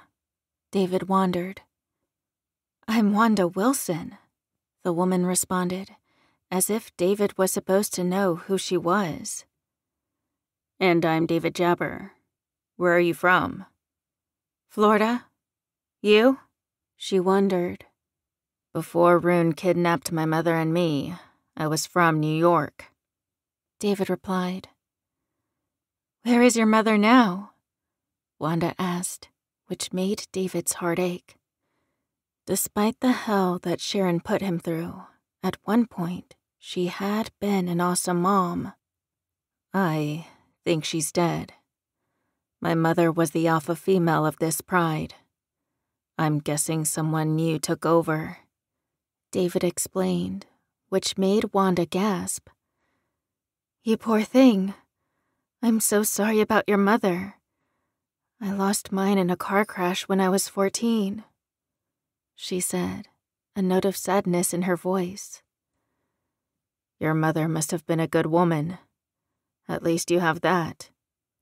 David said as he sat up. The dungeon floor was unforgiving on someone's back. Have you heard of Benny the Bookie? Wanda asked, which made David want to laugh outright. Benny the Bookie. Man, was that idiot trying to sound intimidating? Never heard of him. Did he hire the Katrine Pride to kill you? David asked. The Katrine Pride. What's that? Wanda asked. David was interrupted by the sound of footsteps outside the dungeon door. That was never good. He straightened and rubbed his gritty eyes, unsure of what was in his future. The Katrine Pride had been conquered, which meant that Sharon, the previous alpha female, was dead. His self absorbed mother was gone, and David felt nothing but anger. If only he had escaped, he wouldn't be in this predicament. The door swung open and light filtered into the room, causing David to blink furiously. Wanda, who was wide awake, didn't even seem fazed by anything. Instead, she stood, as if she were accustomed to strangers visiting her in the dungeon. David played a different game. He was the wait and see kind of guy. Oh, look, it's David Sampson. A man with a southern accent taunted. He was tall, middle aged, with bulging muscles that told David that he trained often. The confidence in his eyes and lack of a weapon told David that he must have been a shifter. David Jabber. David corrected, pleased that at least he was never forced to take Rune's name. The muscular guy waved a dismissive hand, not wanting to bother with anything. You have two choices, David. You can become a wolf, serve in my army, and be given a good life. Or you can become a wolf and leave my house. The second option means that you'll be a lone wolf that I'll have to chase down if you become a problem. Either way, I won't kill you, David. Unlike certain alphas, I don't murder innocent humans, he said, catching David off guard. He had been used to Rune, whose options always included pain and more pain. At least if he was a wolf, David could better defend himself. And what if this young man wishes to stay human? Wanda asked. She was the protective type, that was clear.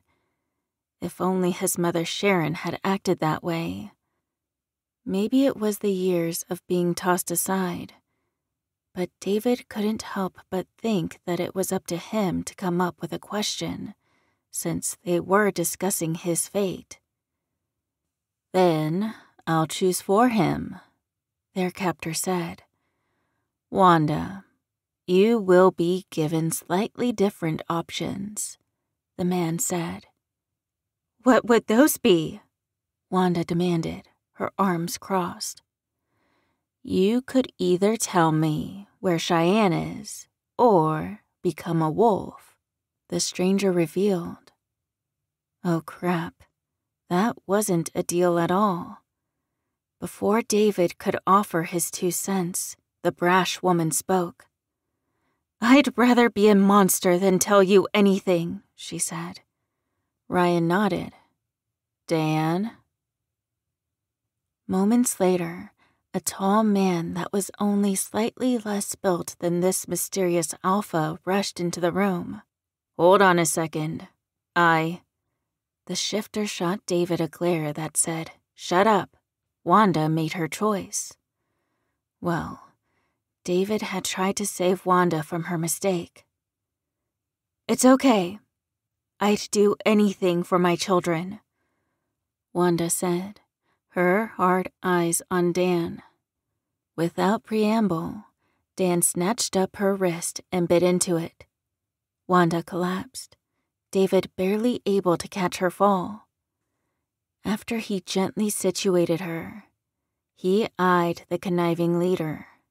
Now that Wanda is out, I have some questions, David said, his mind racing. What would those be? The Alpha asked. Why won't you change me into a lion shifter? Why do I have to be a wolf? David wondered. Ryan sighed. Because I can't stand lion shifters. Any other questions? Who are you? David wondered. I'm Ryan Bragstone, the future emperor of all shifters, he announced. And I'm guessing that the rest of the shifter population doesn't know that? David quipped. Instead of backhanding David, Ryan laughed. You're a good guy, David. So which one will you choose? Ryan asked. I can't stay human for now? David asked hopefully. Ryan shook his head. David was dreading the whole thing, having no desire to join a world where Ryan was trying to become emperor. But like usual, he had to roll with it. Fine. How about you turn me into a wolf and let me get the hell out of here? David offered. Ryan sighed. You're too much of a troublemaker for me anyway. But just to warn you, David, I will conquer every pack, so there won't be a reason for you to leave. I've got to catch up with my father. I haven't seen him in nine years, David said. You might have to turn him, Ryan cautioned right before a lion ran into the dungeon, ramming into a barely standing Dan. He fell to the ground, the lion's jaws wrapping around the back of his neck. Ryan glared at the lion and spoke. Release him, he ordered, but the lion's teeth didn't release the man. David saw a glint on the lion's left ear and knew exactly what was happening. This wasn't one of Ryan's lions. He probably missed one. There was a stud embedded in the ear of the lion that blocked all alpha commands, aside for the shifter's true alpha. That was one brilliant plan. Ryan, the mighty emperor of shifters, looked like he was about to pee his pants.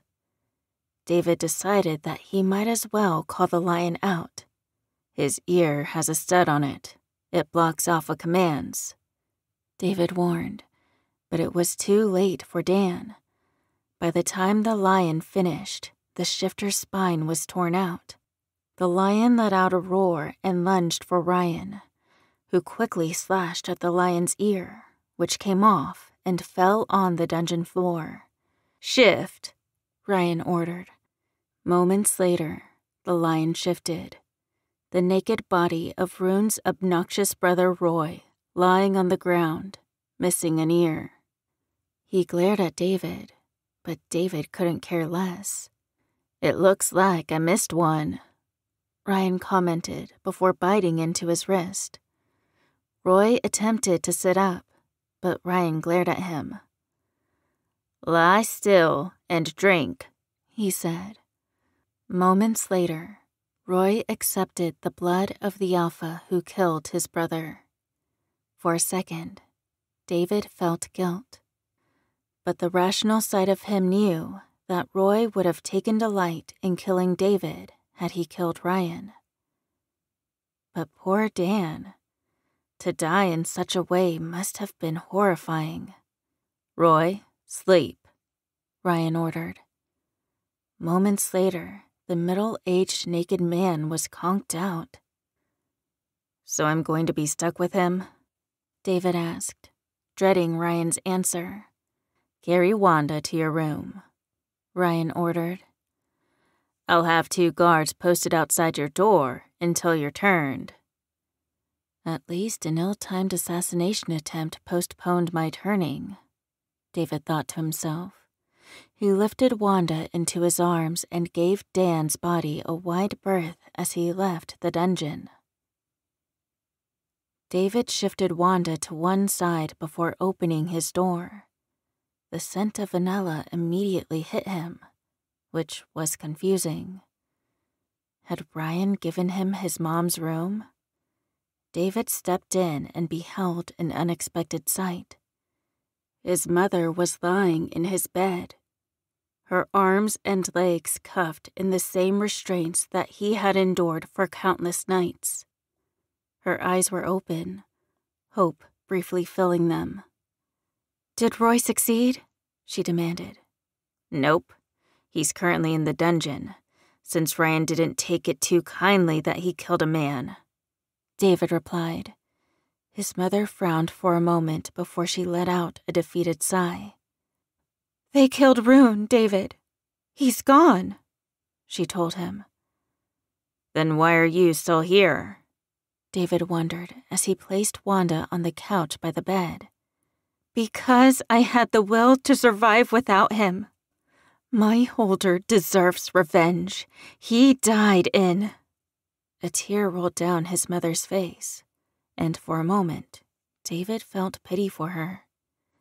He had the feeling that Ryan had everything to do with why Sharon was still alive. David just wasn't sure what the Alpha planned for his mother. Now what? David asked as he plopped down on the floor beside Wanda. I turn you, Sharon said. If I turn you, then you can attack Ryan and. No, David said, interrupting his senile mother. I saw how well attacking Ryan went for Roy, and I'm not interested. Besides, he offered me a fair deal. Deal? What deal? Sharon hissed. He'll turn me. Then I can go back to Dad, David said. He can't allow a human to go free knowing about shifters. Sharon's eyes filled with hatred. You are nothing more than a pathetic human. You were so quick to sell me out like that, Sharon shouted. You are as useless as your father. I should have let Rune kill you that night. But he told me that I'd regret it. But I. Ryan stormed into the room, followed by a stunning redhead. Are you done, Sharon? The redhead taunted. Because we're going to need all of the account numbers. Sharon shot an evil glare in David's direction, as if he was to blame for her predicament. In some way, he was. Roy could have taken Ryan out if it wasn't for David's intervention. I'm not willingly telling you anything, Sharon spat. Now, Sharon, what did we say? We have to be able to trust you. There is no way we can do that if you utterly refuse to meet us halfway. Ryan said, his expression filled with kindness. You killed my holder. Do you really think that I'd help you? Sharon shouted. Go on, Madeline, Ryan said. Madeline pulled a pair of gloves out of her purse and pulled them on. Then she fetched out a silver necklace that had a teardrop shaped black jewel at the end. She walked over to Sharon and allowed the jewel to graze her cheek. Immediately, the scent of burning flesh filled the air, and Sharon let out a scream.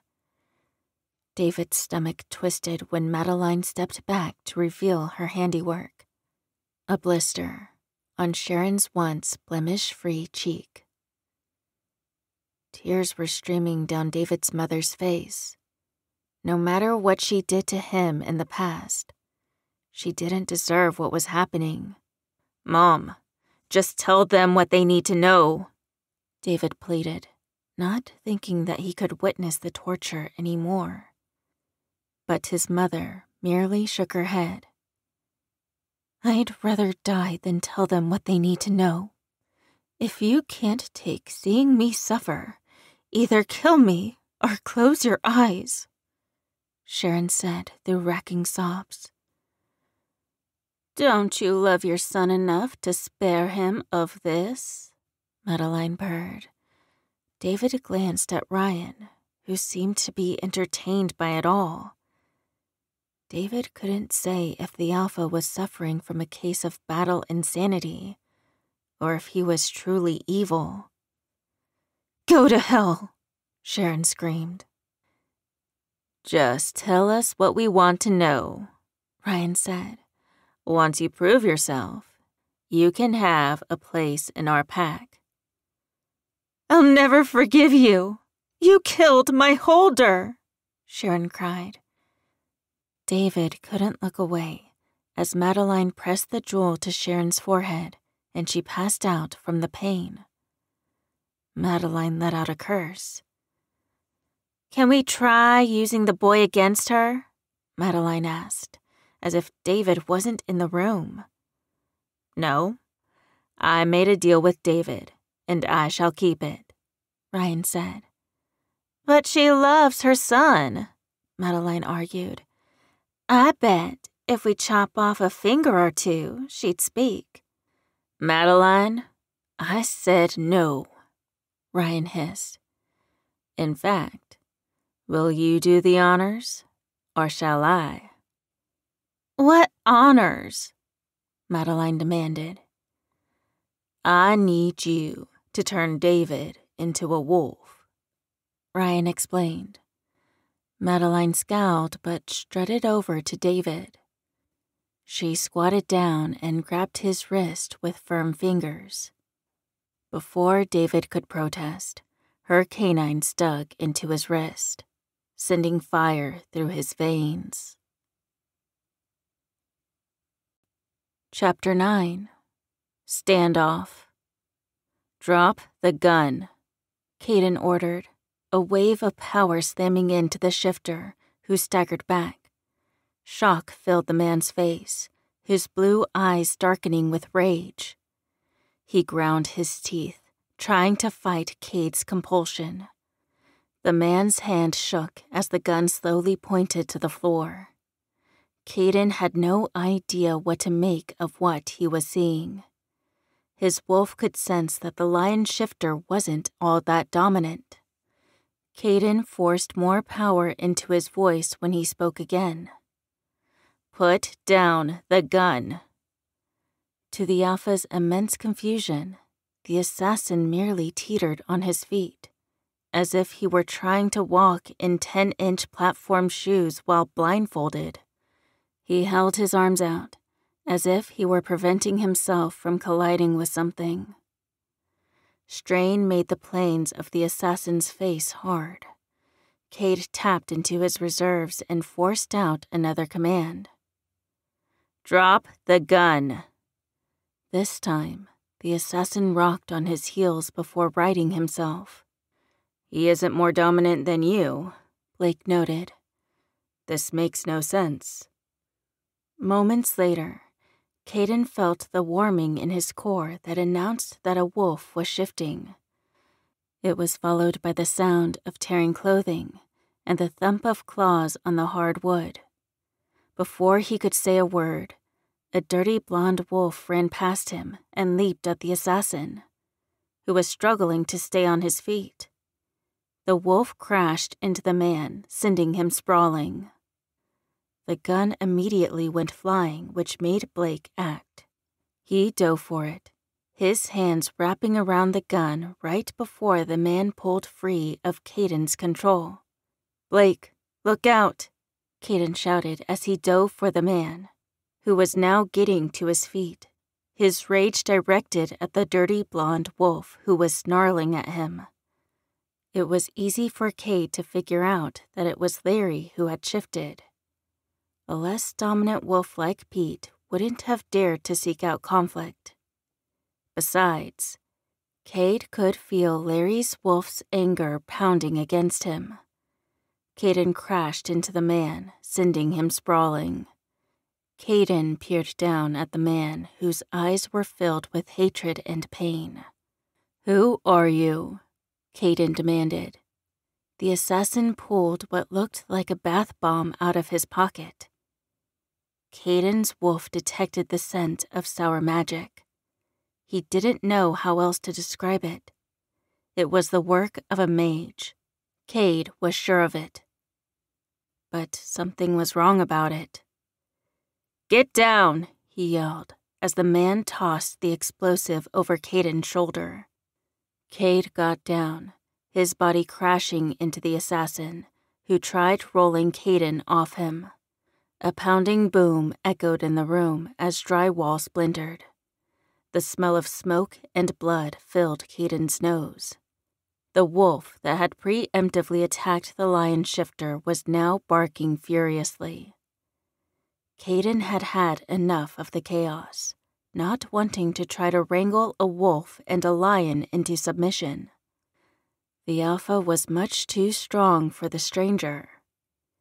Kaden quickly punched the struggling man in the nose before delivering a knockout punch to the jaw. As soon as the assassin was taking a stroll through dreamland, Kaden got to his feet, his ears ringing from the blast. He glanced around to see Roxanne sprawled out on the floor, blood coating her lower left leg. Pete was crouched down beside Roxanne, his concerned eyes meeting Kaden's. Can we take her to a hospital? Pete asked. Felix, who had managed to stay out of the pathway of the mini explosion, shook his head. Kaden will have to command Roxanne not to feel any pain. After that's done, we can have Greg tend to the wound, since painkillers don't work on us. Felix patiently explained. Kaden couldn't help but think that Felix was only trying to worm his way into the hearts of Kaden's pack. If he came off as kind and understanding, someone would feel comfortable giving him information. Larry padded over to Roxanne and whined as he rested beside her, his tongue gently licking the side of her face. It was obvious that Larry's instincts were driving him to protect his holder. What now? Blake asked, shaking his head at the damage to the wall. Of course, it was yet another expense that Cade had to pay for. Sometimes he hated being an alpha, detesting the financial finagling he was often forced to do. Sometimes, Cade wanted to toss the title of Alpha into the Empress's face and tell her to manage the territory herself.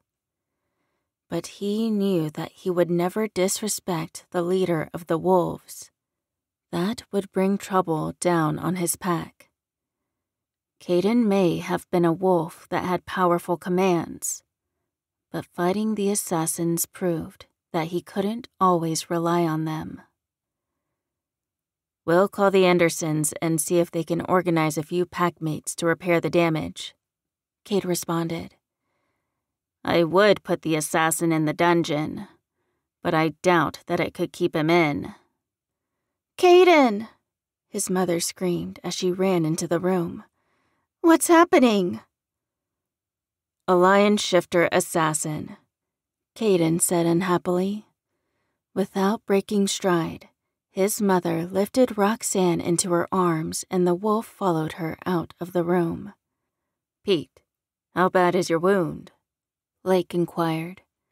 Before Pete could answer, Felix approached him, reached out, and yanked the piece of shrapnel from his shoulder. Pete let out a roar of pain as his face lost color. What the hell? You pulled the metal out of him without having Cade use an alpha command on him first? Blake asked, disgust on his face.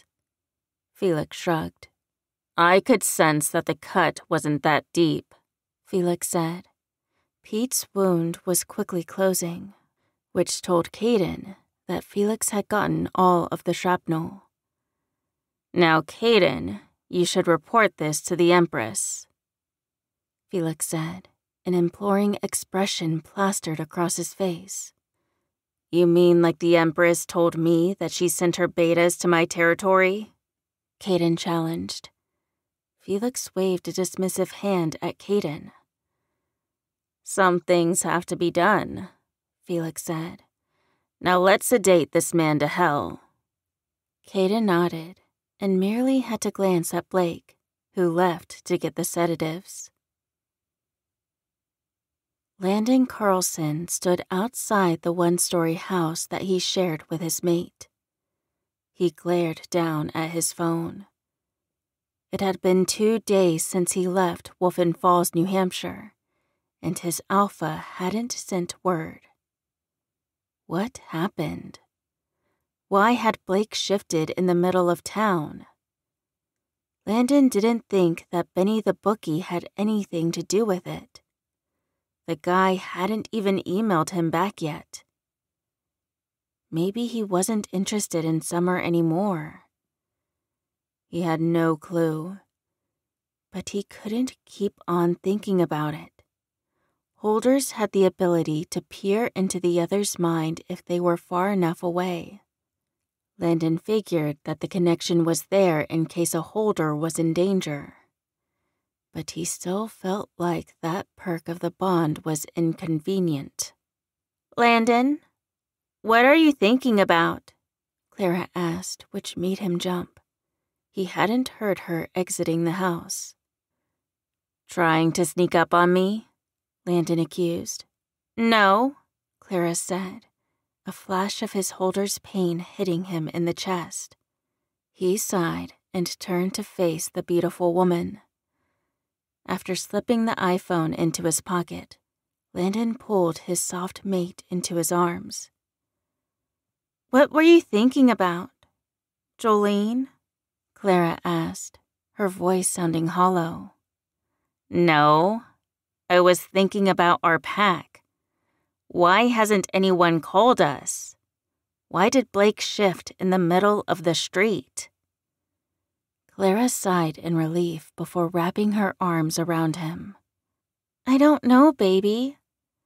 Maybe a less dominant wolf challenged him. I'm glad that you're showing an interest in our pack. Do you miss your parents? Landon wondered. I do, but I love getting you all to myself. I can feel that you're a lot happier here, Clara noted. That's because I get you all to myself, Landon teased.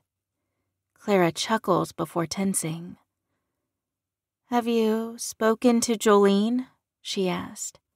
The thought of that traitorous wolf made hatred roll through him. He had poured his heart out to her, only for her to stab him in the back. Landon thought about sending Todd the emails she wrote but didn't think Todd would be affected by them. Besides, he wanted Jolene to hurt. He wanted her to realize that Todd couldn't protect her. Landon wished that he could be in Jolene's head when she realized that Landon was the better man.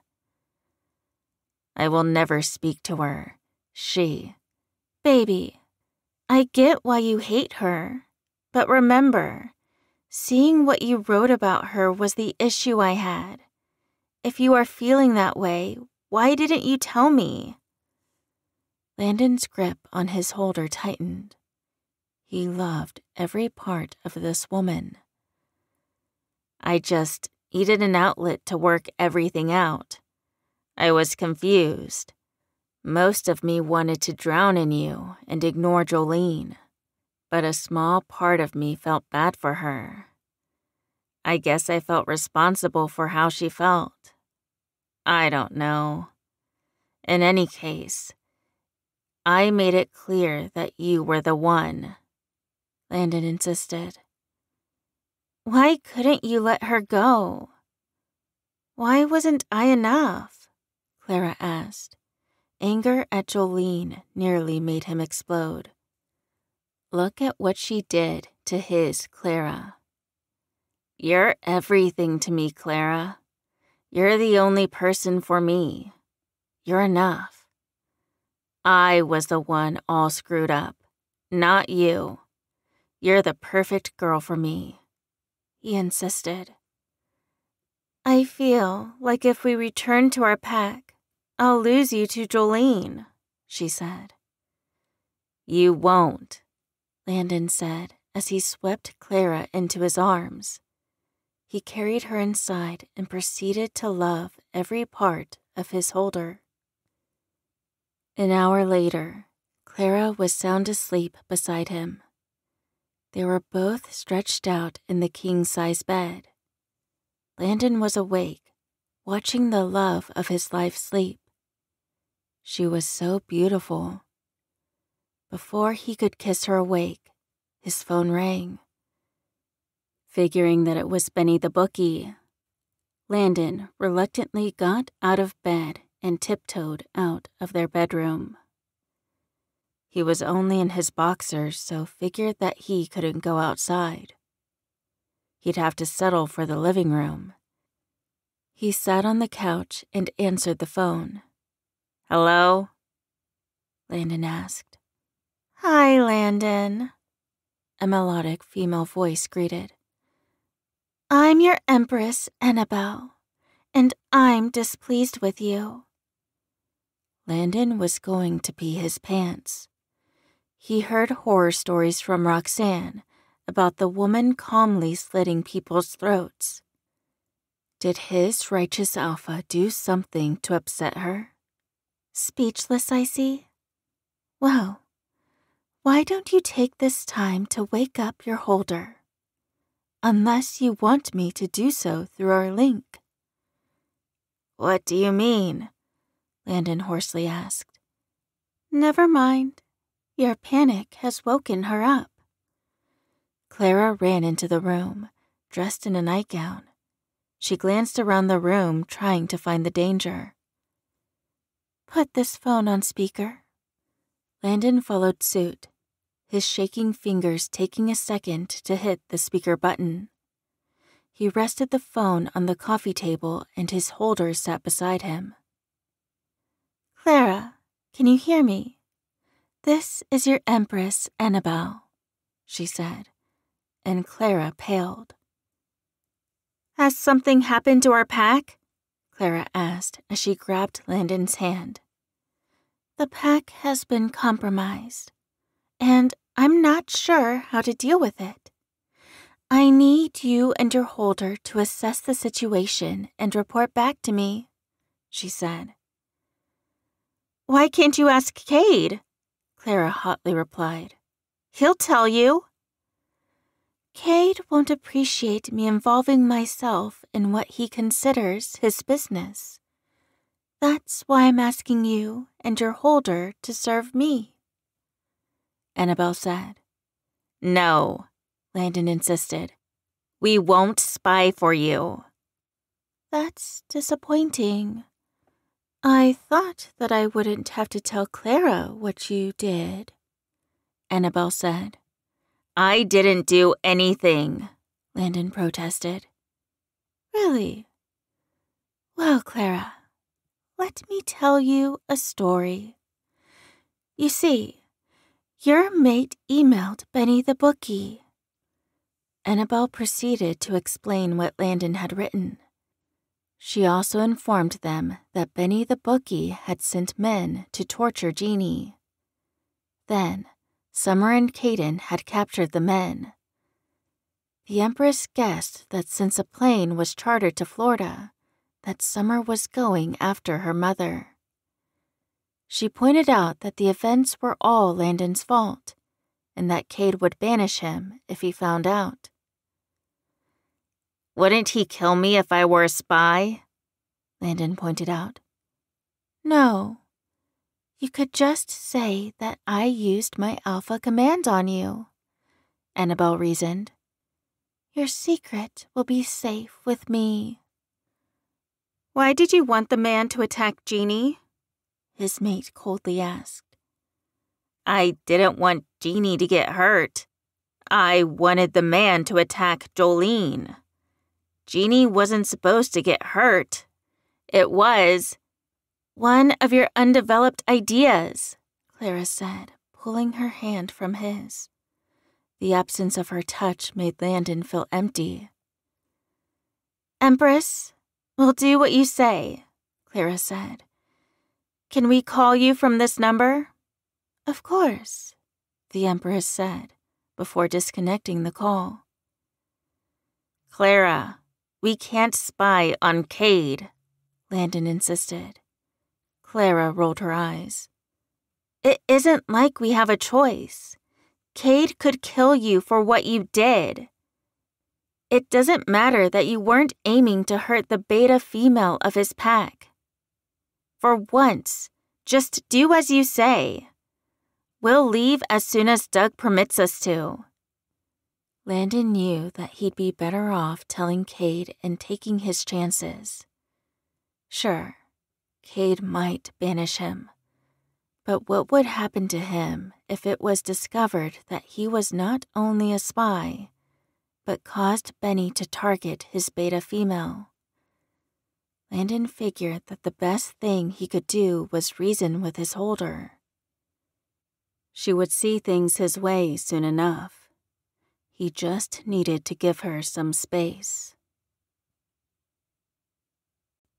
Chapter 10 Nowhere in Sight. I clutched my phone to my ear as I sat on the toilet lid of the bathroom. My roommate was currently listening to a music channel that played nothing but classical music. Oh, joy. I hated to admit it, but I was an uncultured teen who enjoyed EDM and pop music. There was no way that I could listen to violins for another second. It didn't matter that Paula had agreed to my plan on letting Mitch and his buddy live. I didn't feel right about killing in cold blood. We had dropped them off at a park two hours from Orlando before driving a couple of hours in the other direction. That was done so that we wouldn't happen to run into Mitch or Calvin. Miles and Zack were roommates. I would have protested, but Paula made certain to book a hotel room with a connecting door. It didn't matter how efficient she was. I still didn't trust something about her. Hey, baby, Cade greeted as soon as I called him. My canines tingled upon hearing his voice. It was unbearable. The need to be in his arms. Hey, I said, trying to speak from a throat that might have well been the desert. Where are you? Did you find your mom? He demanded. Worry and grief made my chest ache. Mom, how had those rogue shifters known that I would be after her? Was she still with Benny the bookie? Well, things didn't go as I planned, I confessed as I shifted on the seat. What happened, Summer? Cade gently asked. We went to the safe house, and I encountered wolves that I easily subdued, but I think that the wolves were only a distraction. Because out of nowhere, a sniper shot me with a bullet dipped in wolfsbane and. Summer, come home, Cade ordered, his tone hard. Come home? Cade, I haven't found my mother yet. Why would I come home? I asked, confused. A lion shifter tried to assassinate me today. I'm thinking that this isn't a coincidence. We have to regroup to figure out what to do next. Cade reasoned. But there was no way that I was giving up on this search that easily. I had only visited one safe house. That's it. I was positive that Miles knew of more locations where my mother could be hidden. No, Cade, I can't. Not until Miles gives us the location of every safe house that he knows about, I said, my anger beginning to build. I thought that Cade and I had sorted this out already. He didn't have the right to tell me what to do. The other two don't know about the safe houses? Kaden wondered. We let the other guys go, I admitted. As in you killed them? Cade asked, confused by my words. No, as in we let them go. We didn't have the room to. Without talking to me? You released these prisoners?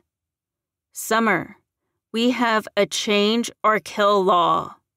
If a human enemy finds out about shifters, we either change them into wolves or kill them.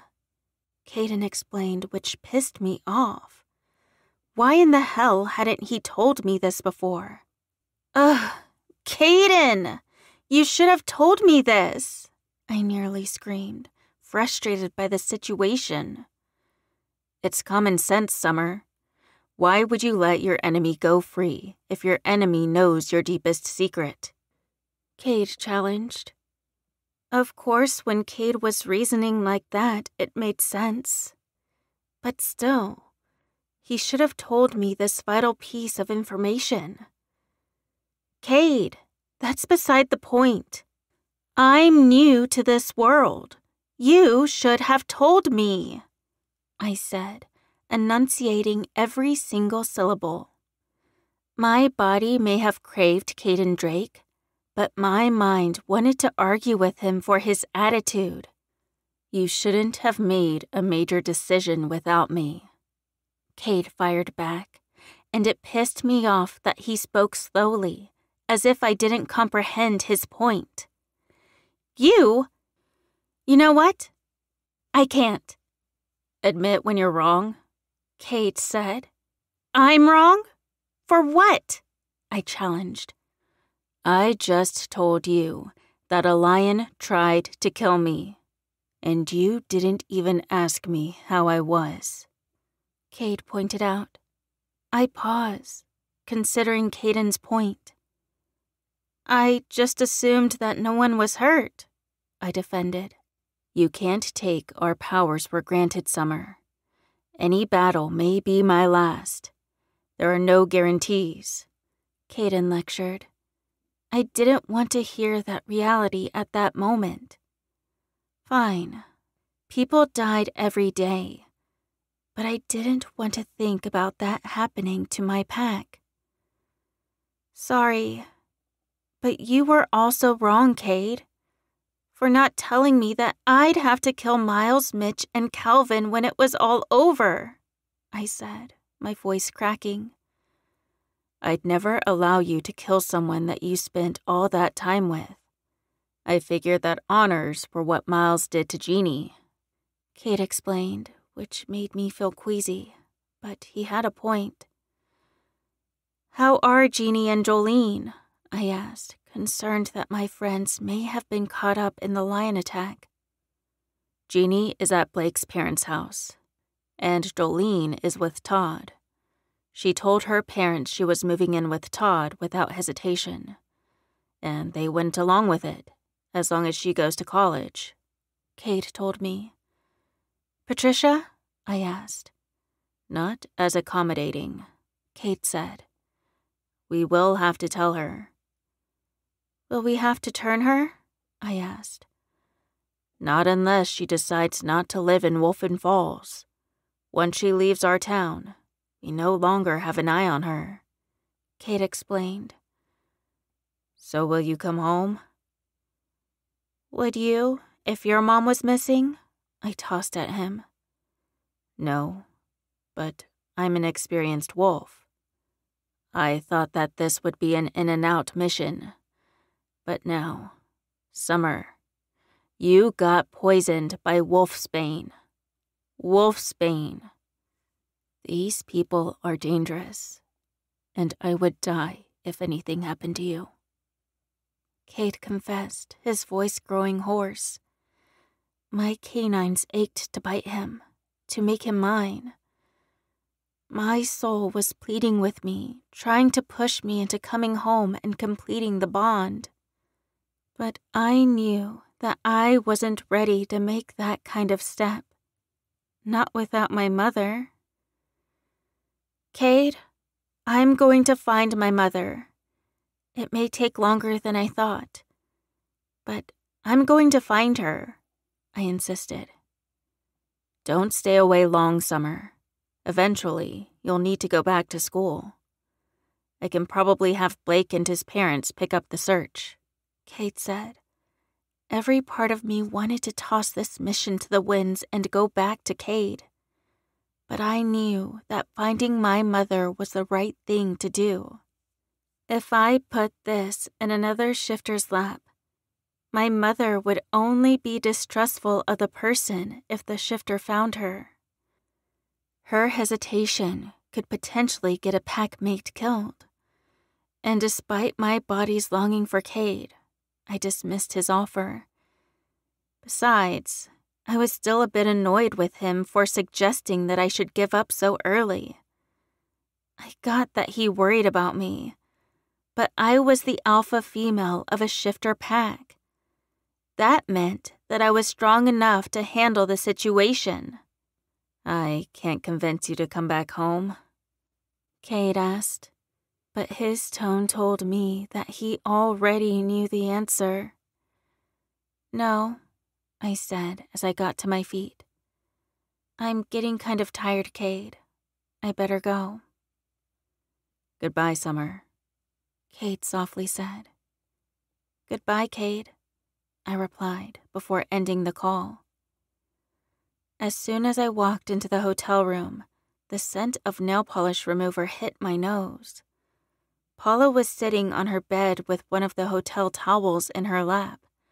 She was dabbing at her nails with a drenched cotton ball.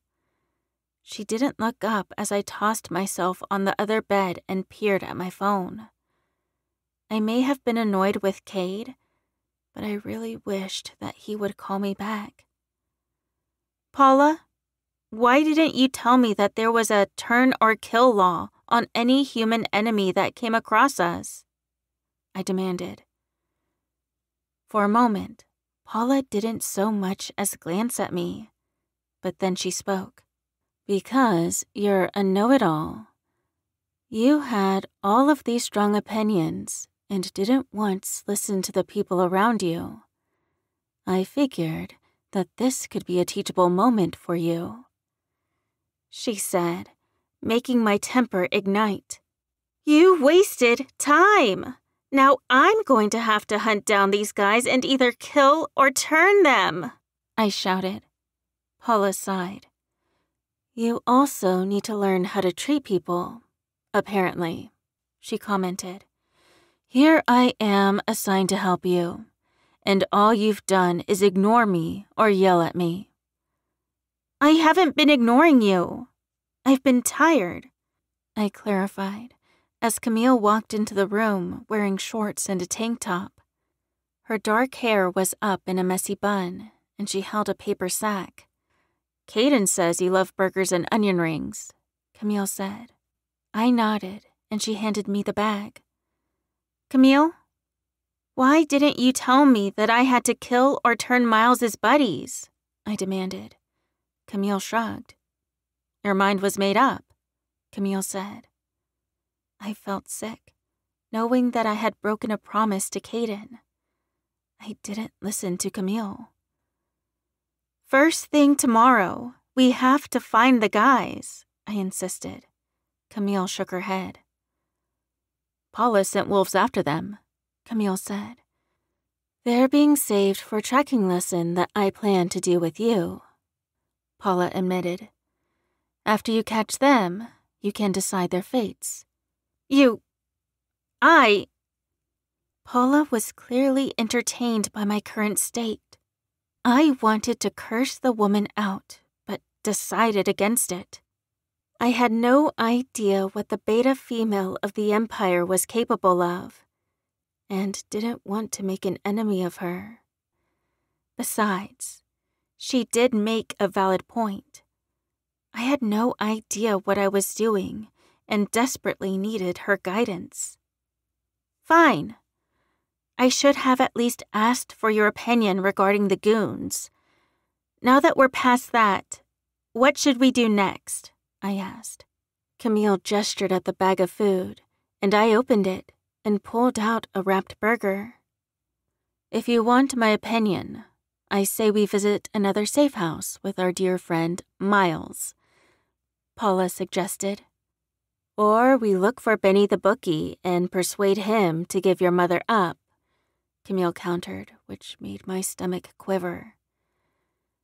Then we'd either have to turn or kill him. I don't think that I could keep my claws from coming out, I admitted. Let's capture him, Paula offered. We can bring him back to the Empress's dungeon. I'm sure a night in that cold, dank place will make him talk. Or we can turn him and use alpha commands on him. Then kill him after. Camille tossed out. Despite what this man did to our family, I wanted him to be tossed in prison but there was no way that I could get the human police involved. I like the idea of capturing him. That means less people to witness my claws, in case I'm not able to control them, I noted. Sounds decent to me, Paula said. Once Miles gives us possible locations, we'll be able to plan from there. Chapter 11 Impact. Wanda let out a groan as her aching eyes peeled open. The moment bright light slammed into her eyes, she quickly closed them. Wanda took inventory of her body. She was sore, as if she had just contracted the flu. Her skin felt sticky. Her curly hair was practically glued to her forehead. The scent of blood mingled with sweat and sickly sweet vanilla body wash. Wanda counted to three and then opened her eyes a smidge until the light was bearable. Then she took the plunge and forced them open all the way. Disappointment filled Wanda at the sight of the familiar ceiling of the room where she had been held. Wanda slowly sat up, her head pounding at the effort. A jangling sound brought her eyes to the bed. A woman was shackled there, boils covering half of her face. Horror filled Wanda at the sight of the inhumanity. She got to her feet and slowly walked over to the woman. Her eyes immediately snapped open, and her annoyance made Wanda pause. You're a moron. You should have pretended to stay asleep, the stranger chastised. Dread filled Wanda, the emotion twisting her stomach until it ached. Before she could ask another question, she heard the door open. She spun to see the man from the dungeon walking toward them. He was dressed in all black, his feet covered with steel toed black boots. His face had a bit of scruff and his dark hair was weighed down by an obscene amount of hair gel. He smiled wickedly. Who are you? Wanda asked, her voice hoarse. Wanda could feel her heart tighten painfully as she glanced at him. It felt like this man was her leader, and that she would do anything for him. He smiled, his eyes filled with excitement.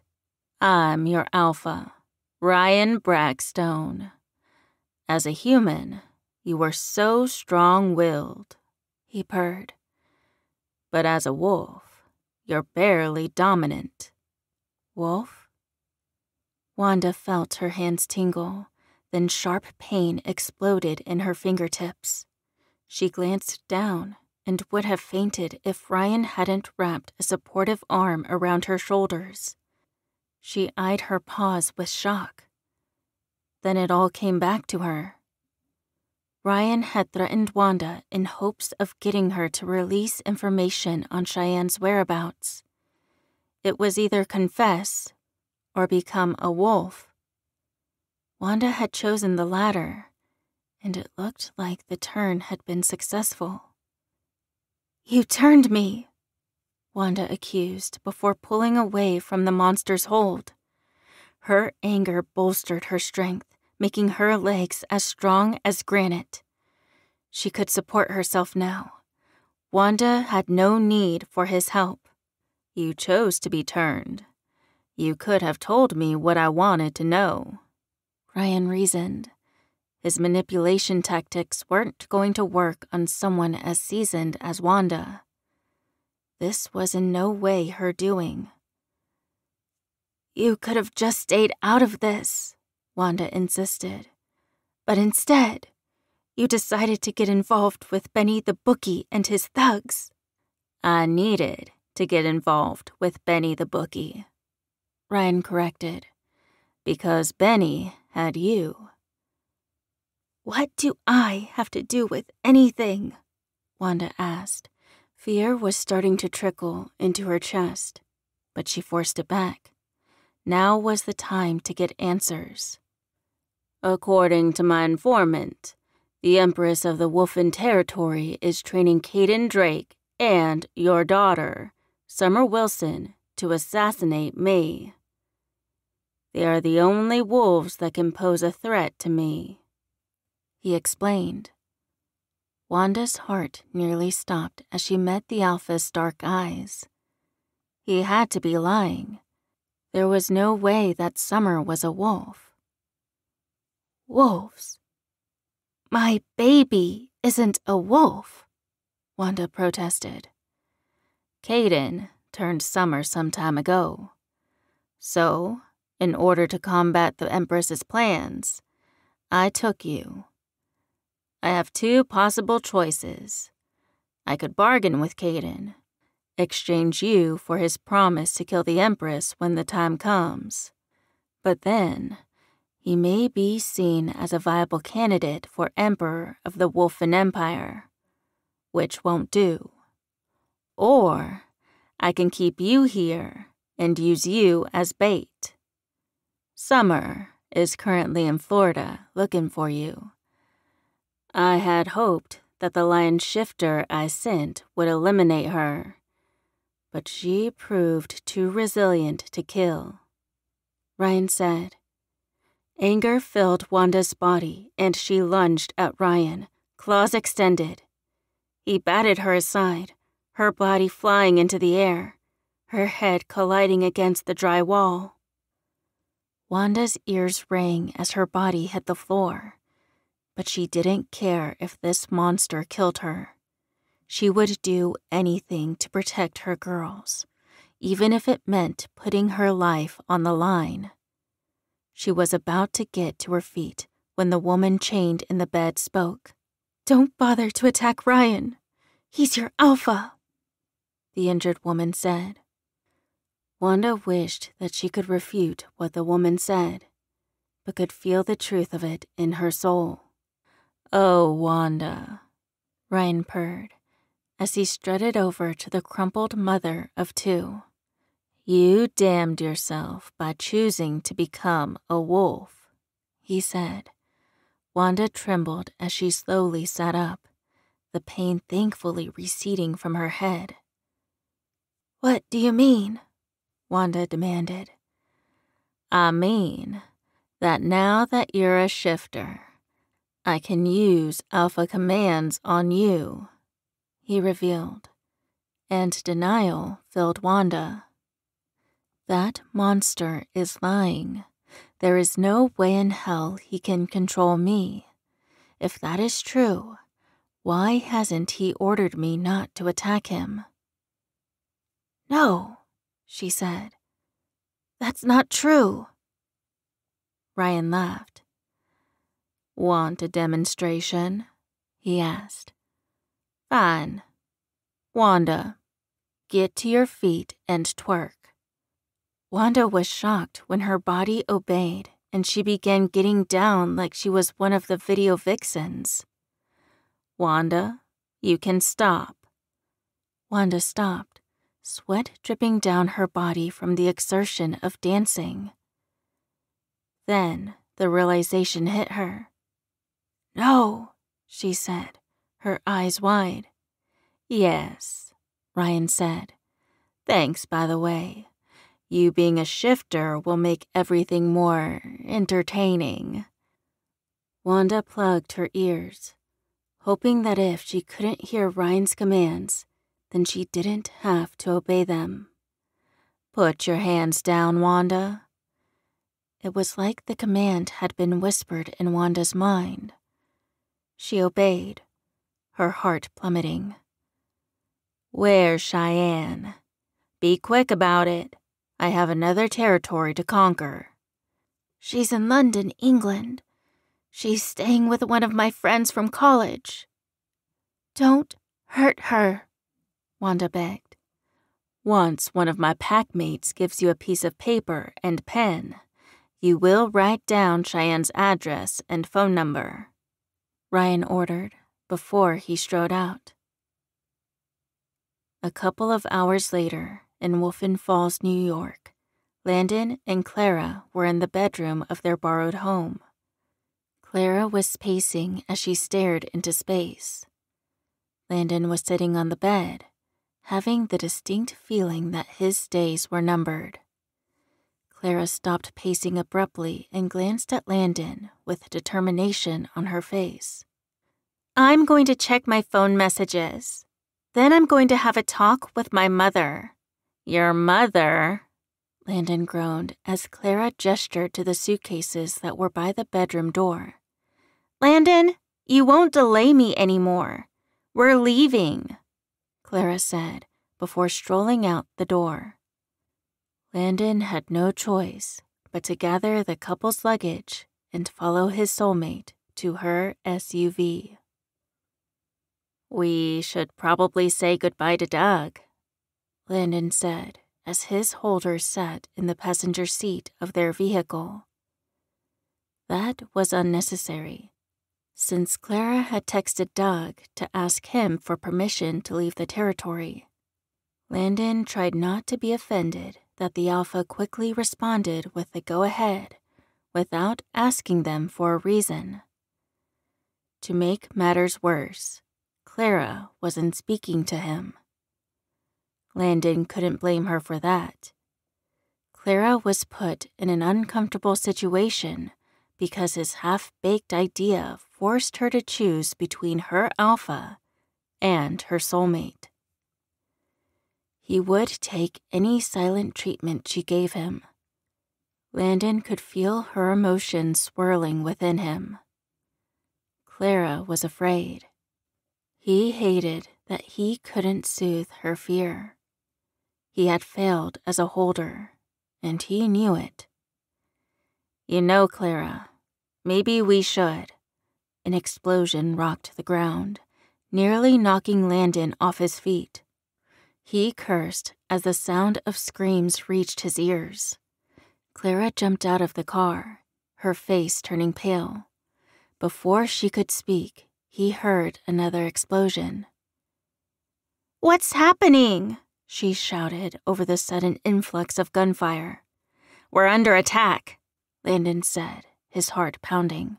No, Doug's pack is under attack by humans, Clara cried.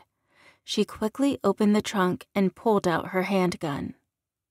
It wasn't much, but at least they could defend themselves. She rushed toward the gunfire, and Landon followed knowing that he was ill equipped to assist his holder. It didn't take long to find the carnage.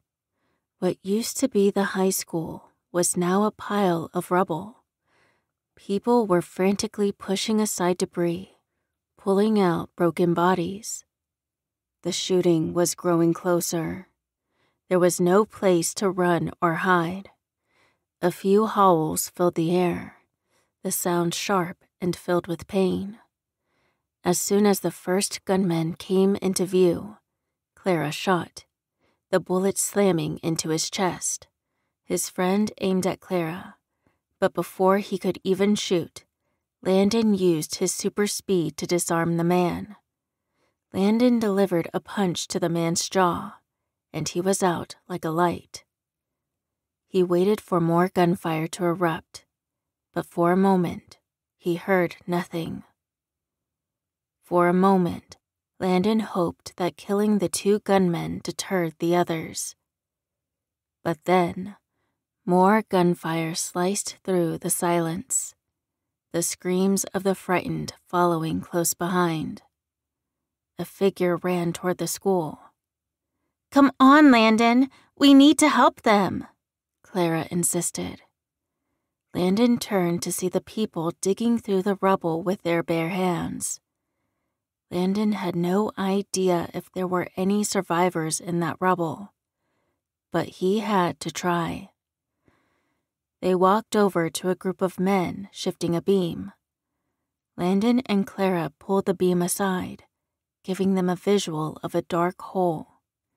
He heard the faint heartbeat. Someone was down there. Landon wanted to tell everyone to hurry up.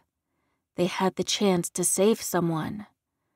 By the time the survivor was revealed, Landon had splinters all over his hands. The survivor had been an unconscious high school student.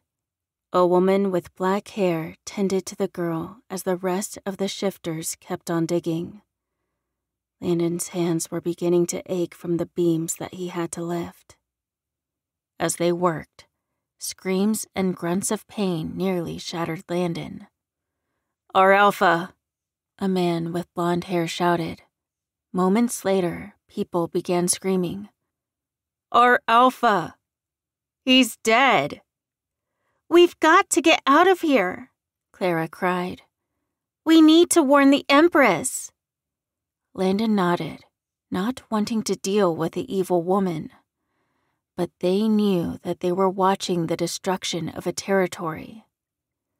Without an alpha, this territory would fall. Chapter 12 A New Outlook When my eyes opened the next morning, sadness immediately filled me. Kaden was my soulmate, my world, my life, and we hadn't ended our conversation on the best of terms. I hungered for his smell, his touch, his embrace. If anything, I wished that I could go home, if only to get one of his kisses. Without thought, I called Kaden. Good morning, Summer. Kaden said, his voice making my heart fill like a balloon being pumped by an absurd amount of helium. I miss you, I admitted, my gums aching. If only I could sink my fangs into his neck and claim him. Being away from you is difficult. I miss you too, Summer. Have you guys come up with a plan? I heard Paula groan in the bed beside mine.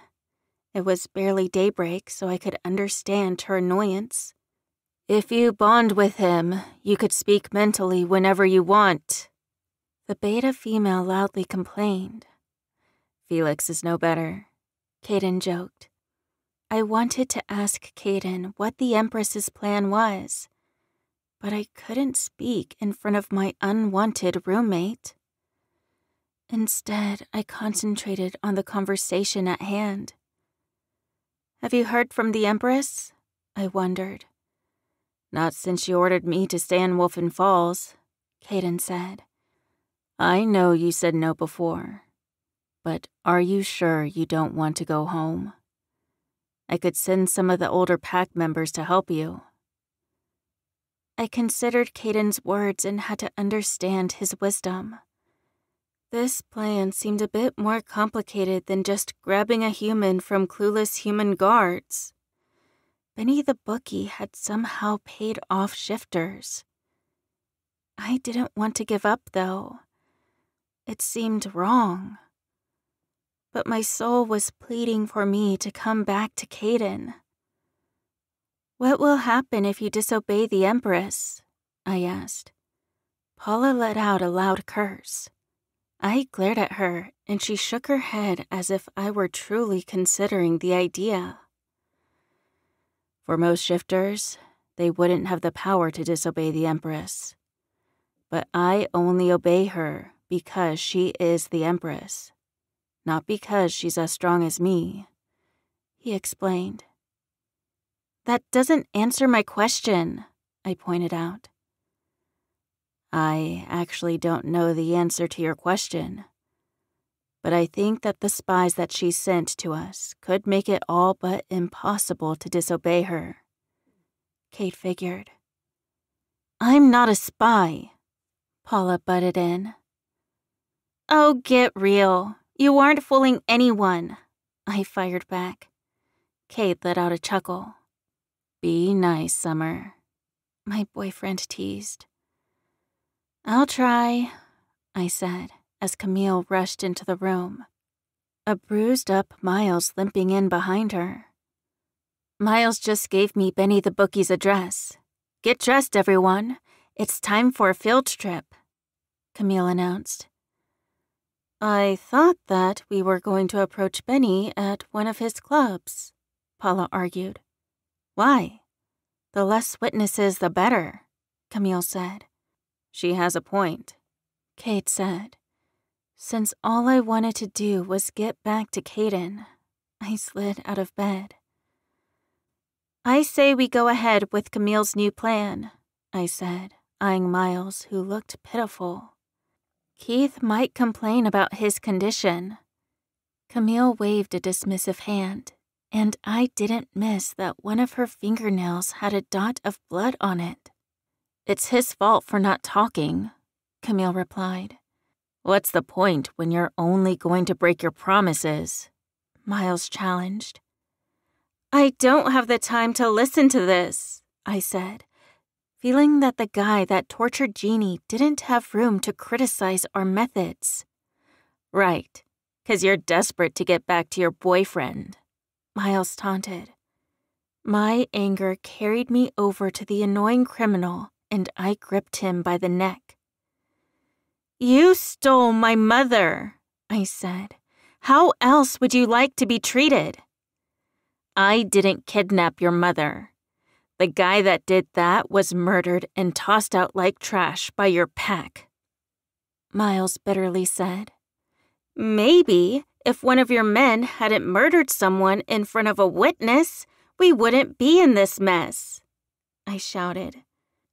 Maybe if someone knew how to mind their own business, Benny would have never bothered with the likes of you.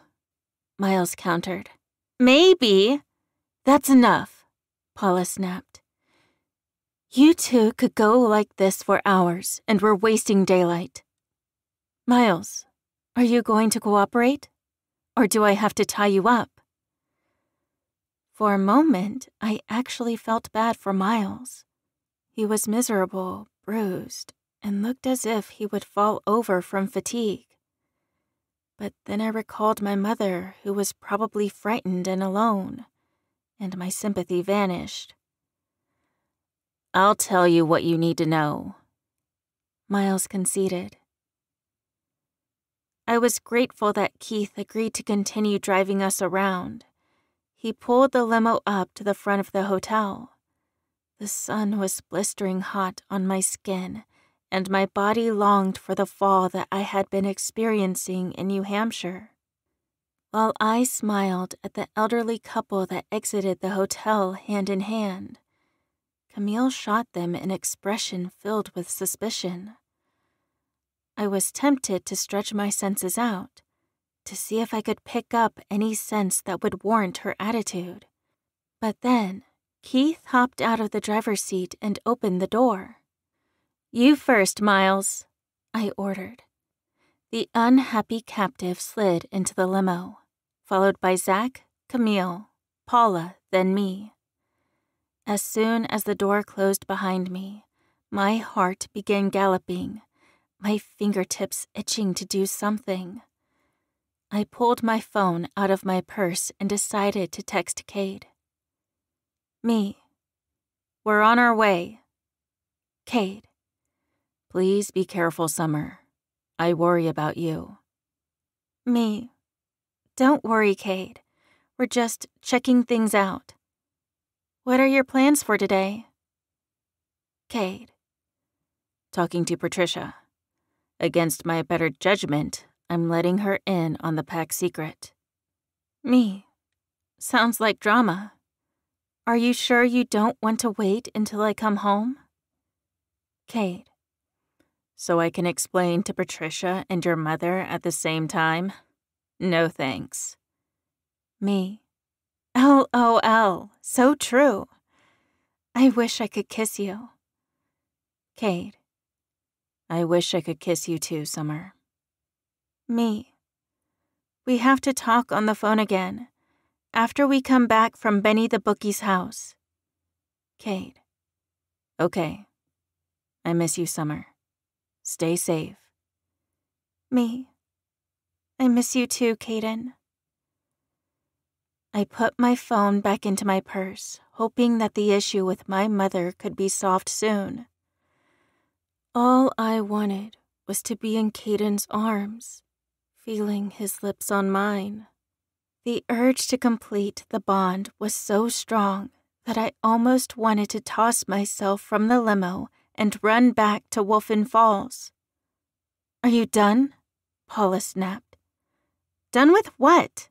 I asked, bemused by the woman's sour attitude.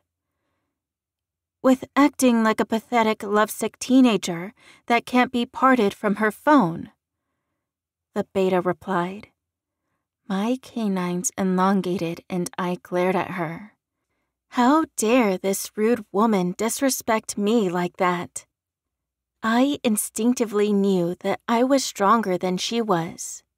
That assessment was proven correct when she flinched away from me and lowered her gaze.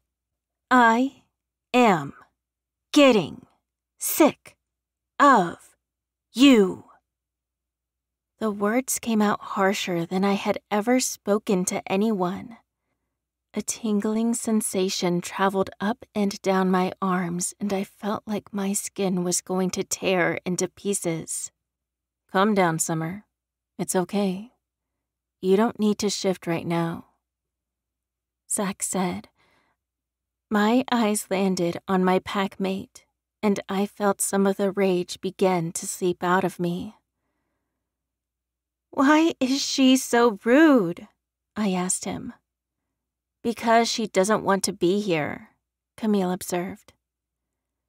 First of all, I'm appalled by the lack of discipline that you have, Summer. Right when you're about to go into battle, you spend the time texting?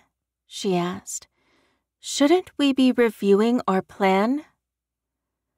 Now that Paula wasn't acting like a total witch, I understood her point. I let out a sigh and began to hash out the plan with my group. Keith and Miles were left in the limo. Since neither man needed to approach Benny the bookie, we walked down the manicured sidewalk of the affluent part of town. The large homes that sat back from the street and were accessible by gates with keypads worried me. What were the chances that Benny would allow us entrance? If we were lucky, hopefully we would be catching him on the way to work. Stop, Camille whispered in front of Benny the bookie's next door neighbor's house. Do you hear that? We were so close. My first instinct was to ignore Camille and keep on moving. But then I forced myself to use the senses that my wolf afforded me. I stretched out my hearing and heard a man screaming. Instantly, my pulse spiked worry for my mom obliterating my judgment. Without hesitation, I raced to Benny the bookie's house, and with one jump, I cleared the gate and began speeding up the driveway. In a matter of seconds, I was at the front door where I heard the sounds of shouting. No, Mom can't be caught up in this. Please, no. With strength that I didn't know that existed within me, I shoved the locked door open and ran into the house. Stop! A man shouted. It sounded like the voice came from right around the corner. I ran out of the entryway and burst into a spacious hallway that had tacky nature paintings hanging on the walls. A tall man with long blonde hair stood over a man wearing a toupee that was askew, a wrinkled black suit, and black shoes. I would have recognized Benny the Bookie anywhere. The man had a knife in his hand, his arm about to slice into Benny the Bookie. An instinct rose up, and I spoke. Stop! My words gushed out of me so forcefully that I stumbled backwards as if I had experienced a kickback. A painting came loose and crashed on the floor, along with a shifter that had been about to kill Benny. The blonde was bleeding from his nose and mouth, his body convulsing. A hand rested on my shoulder. You put too much command in your voice, Summer. Paula quietly said. I think you nearly fry that man's brain. I blinked and shook my head, disbelief coursing through me. I. What was that? I asked, as I studied the man that I had nearly destroyed with a measly word. It was your alpha command. Now, you can calmly order every shifter to show themselves, Paula informed me. Close your eyes. I closed my eyes, knowing that Zack and Camille had joined Paula in the hallway. They would protect me. Think about your outcome. Think about what you want. And most importantly, be specific, then speak. I felt a tingling sensation in my throat, which notified me of the power's presence. I want every shifter in this house to join me in the hallway with a painting, I ordered. This time, the Alpha Command rocked me back so hard that I fell on the marble floor, my head banging on the polished wood with a thud. So loud, Camille groaned. That was better than I expected, Paula commented. You could have caught her, Zack said, disgust in his voice. I slowly sat up, the pain in the back of my head quickly fading. I slowly got to my feet as two thin men appeared in the entryway. One of them was tall with jet black hair, while the other one was short with honey brown locks. Both of the men looked absolutely miserable. Judging by the blood leaking from their ears, I was guessing that the misery came from my aggressive alpha command. You. You commanded us. The shorter of the two men standing in front of us observed. I shot the man a hostile glance. Because I'm more dominant than you, I said with a shake of my head. If I may, Paula said, interrupting our exchange. She stepped forward and eyed the men. Why are you surprised that another Alpha could command you? She wondered. Ryan said that he was the most dominant wolf in the country. He commanded us to not obey any Alpha commands and that girl overrode his command. The shorter wolf explained. I groaned before glancing down at the frightened bookie. Why are Ryan Bragstone's wolves here? I demanded. Benny blinked rapidly before taking a sobering breath. Well, I. They are here to kill me. Surely you can't let that happen. Benny pleaded. I could, but I need something from you, I said, my gaze hard. I need my mother's location. Benny blanched, which made my stomach sink. His expression told me that Mom wasn't tucked away in the basement of this house. I won't tell you a thing, he said. I could turn you into a wolf. Then I could use my alpha commands on you and make you my slave for the rest of your pathetic life. I snarled, the tingling sensations returning to my arms. Please, Benny cried. Kill me now. Please. The three shifters that had been clearly sent to destroy Benny the bookie all shook their heads.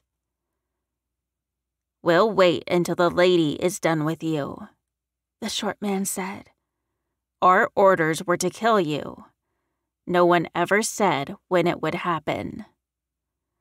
Please, kill me. You'll do it quickly. That mutt won't, Benny cried. Benny, I will have someone turn you, I said. No, I can't. Oh. Benny's face turned red and he clutched his chest. Camille let out a breath. Benny is having a heart attack, she said, before biting into her wrist and shoving her wrist into his mouth. Zack blocked Benny's nose in hopes of getting the man to swallow. But a sense of doom was coming over me. I knew by the absence of his pulse that the bookie was long gone. He was the last link I had to my mother, and he died before I could interrogate him. Camille and Zack both stepped back, defeat lingering in their eyes. I eyed the men, whose faces were filled with surprise. I supposed that their jobs were done. I looked at Paula, whose face was pinched. Well, that's rather unfortunate, she complained. It is, I agreed. But maybe we can question these fine young men. I think it's fascinating that we've run into Ryan shifters twice, Paula said. I nodded and opened my mouth, ready to do an alpha command, when I heard the front door squeak. Chapter 13 Common Sense Come on, David. A familiar female voice coaxed in a sing song tone. You need to open your eyes. David shifted in his seat and. Wait a minute.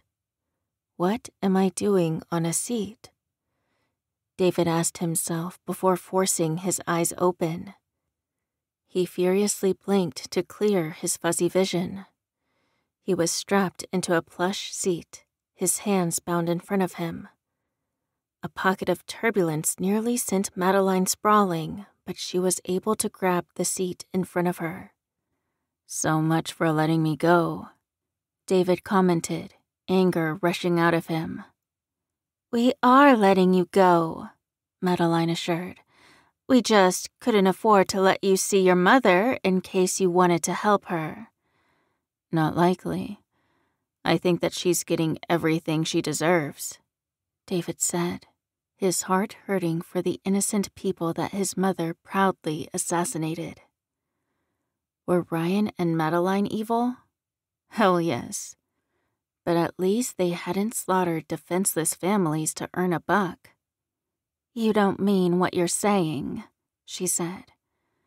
Something's bothering me, David said, flicking his eyes to his bound wrists. Aside for the unnecessary bindings, how is my mother still alive? I thought that Holders died at the same time. After Ryan beheaded Rune, he ordered Sharon to stay alive, Madeline explained. So, Rune is really gone? David asked, hoping that Madeline was telling the truth. Yes, Rune is really gone. Now that I answered your questions, Let me tell you what's going on. We're heading to Wolfen Falls, New York. We will land and conquer the territory. You will exit the plane and stay out of our way. Your father's in Manhattan attending a conference. That's two and a half hours away from Wolfen Falls, New York. I don't care how you get there. Hitchhike or something. Madeline ordered. A surge of hope sprang up in David. The knowledge that he was really going to see his father warming his soul. But he knew better than to count on an alpha that owed him nothing. What's the catch? David asked, hoping that he could just avoid the battle. Well, the catch is for you to use your common sense. Don't get in our way, Madeline hissed. David felt a tickle in his ears, the heat of something seeping into his brain. His gums tingled and his fingertips ached. David glanced down and tried not to pass out when he saw claws where his fingers were supposed to be. He frowned down at the odd protrusion before recalling that Ryan had turned him against his will. The anger that flooded David was so strong that he jerked the newly turned wolf's movement snapping his bindings apart.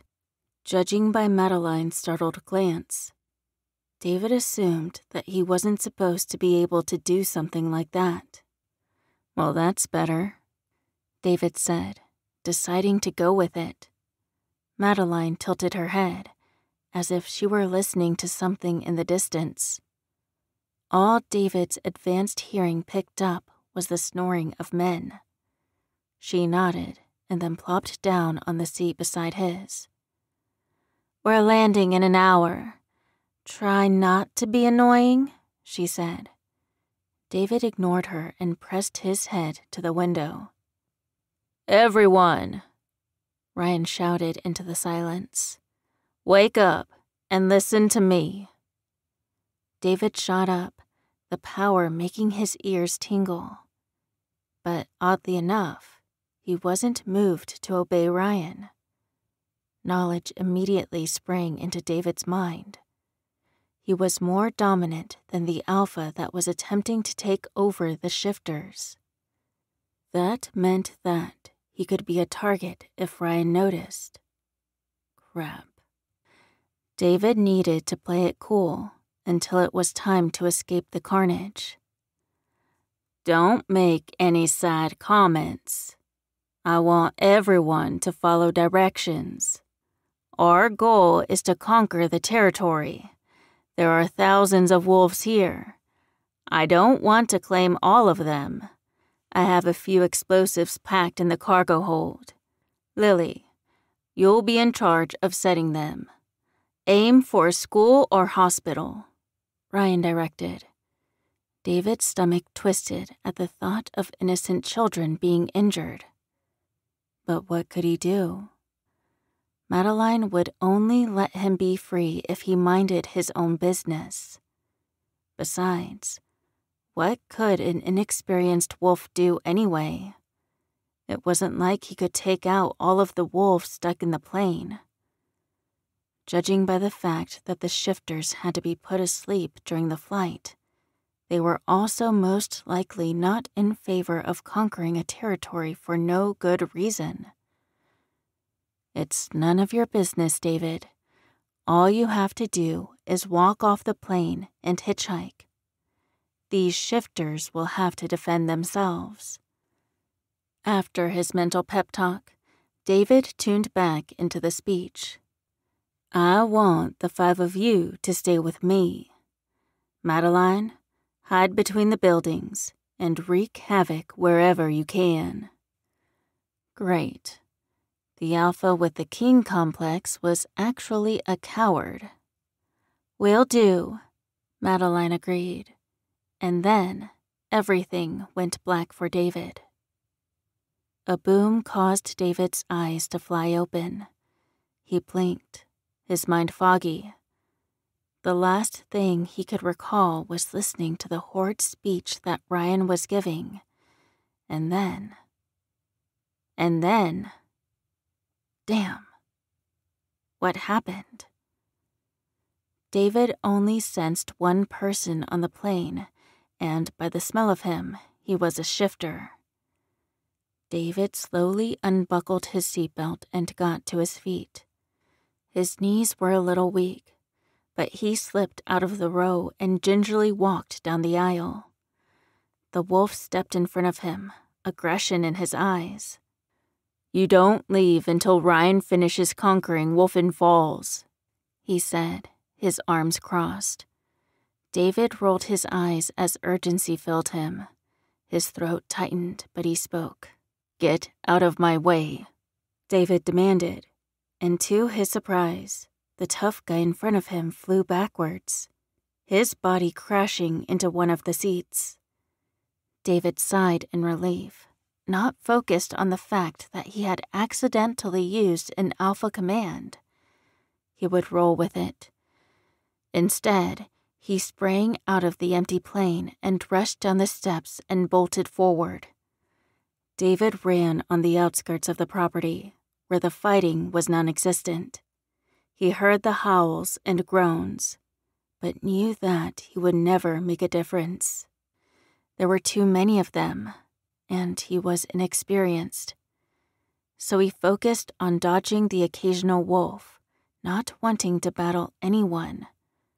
But when he heard the shriek of a little girl, his heart stopped. It looked like he was sticking his nose in this mess. He paused and focused on the shrieking. It was coming from the backyard of one of the houses. David strained his ears and could sense two wolf shifters. He dodged out of the shadows and sprinted down the silent street. No! the girl cried. The brat won't stay still, a wolf complained, as David's eyes narrowed in on a blue house with a burned out car in front of it. Oh, great. That would prevent him from hot wiring a vehicle. Not that he was exceptionally good at it. The scorched metal nearly made David upchuck on the pavement, but he ran into the backyard and spotted the situation. A little girl was running in circles, evading both wolves.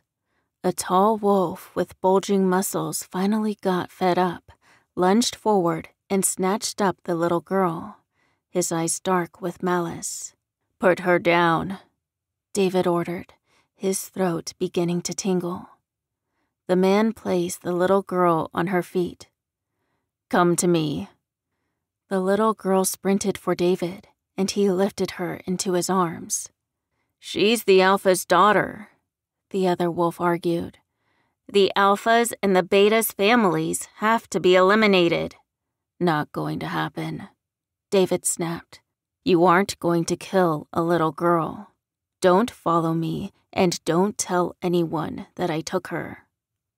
By the time David was finished speaking, both shifters were clutching their ears. His vehemence may have came through a bit too strongly. Don't kill me, the girl cried in his arms. They killed Mom. It's okay. I'm going to try to get you somewhere safe, David said before pouring on the speed. David heard the car traveling down the road leaving town. He needed to catch it, since it was one of the only vehicles that survived sabotage. He needed to catch up to the fleeing wolves. Sweat poured down his face as he ran, his lungs aching for air.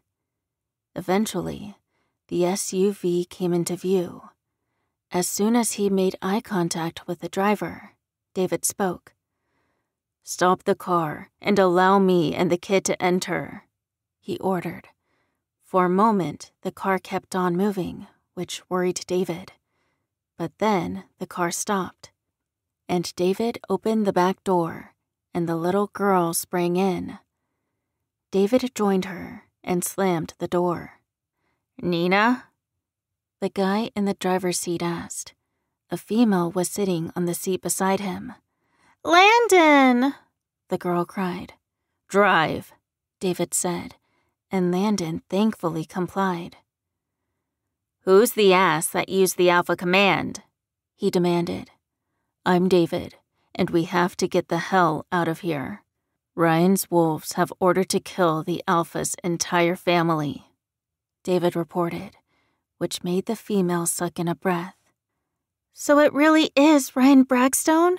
she asked. Unfortunately, he captured me and turned me against my will. David said, figuring that he'd just give the strangers the short version. It wasn't like they needed to know about his captured mother. Why? Landon asked. Who knows? David said. Where are you guys headed? To New Hampshire. We have a feeling that our pack will be targeted next, the woman said. David was tempted to command Landon to take him to his father, but David knew that Nina wouldn't be safe in New York. Madeline knew that David was desperate to be reunited with his father, which meant that it would be the first place she looked for Nina. Since David had snatched the terrified little girl, she was his responsibility. We're going to see Kaden? Nina asked, her tone filled with hope. We are, the female responded. Clara, why did the bad men hurt Mom and Dad? Why did they want to hurt me? Nina demanded. David could see that the kid was verging on having a temper tantrum. Oh, great. We don't know. David decided on, though he knew why. Liar! Nina shrieked. You're lying! Sleep, Nina, David said, using his alpha command. Moments later, the child began snoring. The blonde sitting in front of Nina craned her neck, her blue eyes filled with suspicion. You were turned by Ryan? she asked. Why? Don't know, David said. My guess is that it was a game for him. He gave me two choices be a wolf and stay in his pack, or turn and leave. I chose to leave, and he brought me with him to New York. David explained. I don't think he was willing to let me go. Did you drink his blood? Clara asked, worry on her face. David tensed, his eyes going wide. I didn't willingly drink his blood. But I. He could have force fed you blood, Clara said. That means he can track you down until you get a new alpha. Oh crap, David whispered. Hopefully, he'll be too busy to bother going after me. Hopefully. Cade will tell you if you have been claimed by an alpha, Clara said with confidence. David would have to see it for himself. So far, in his short, miserable life, he had made the unfortunate acquaintance of two alphas. And they were both power hungry jerks. Chapter 14 Priorities I turned to face the entrance after commanding the three shifters to go to sleep. Moments later, Keith jogged up to us, his eyes wide with surprise.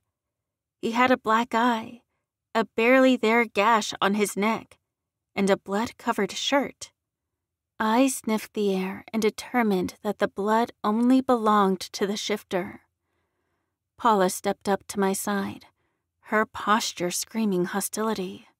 Miles got away, Keith told me he somehow smuggled a blade into the limo and nearly decapitated me when my back was turned. By the time I healed, the boy was long gone. Anxiety filled me, and I felt like tossing myself on the floor and screaming the emotion out in the air. Seriously? This was actually happening to me? For goodness sake, it seemed that nothing could go right on this mission which was now at a dead end. I had no idea how to find my mother, who was probably scared to death.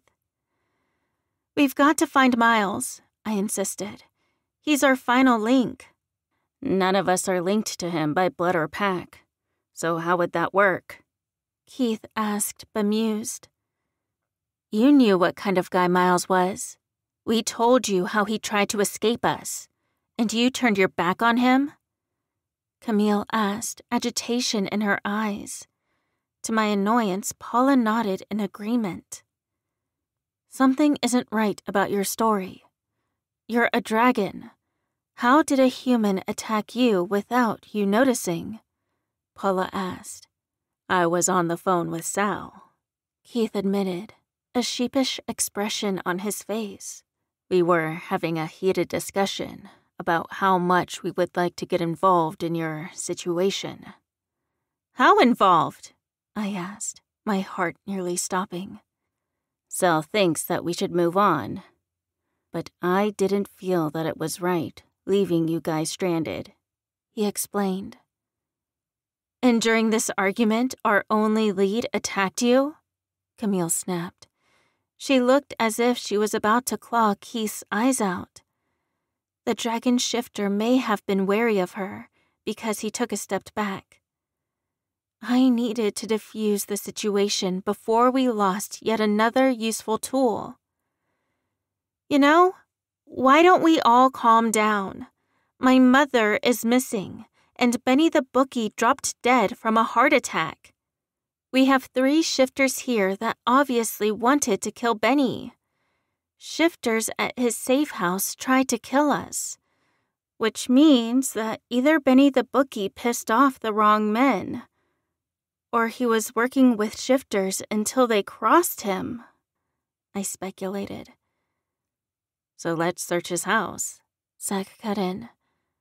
I'm sure he has a computer or phone around here somewhere. What about Miles? I demanded, concerned that someone who was vindictive enough to reveal the existence of shifters was running loose. I had to either kill him or turn him. Miles is long gone, Paula said.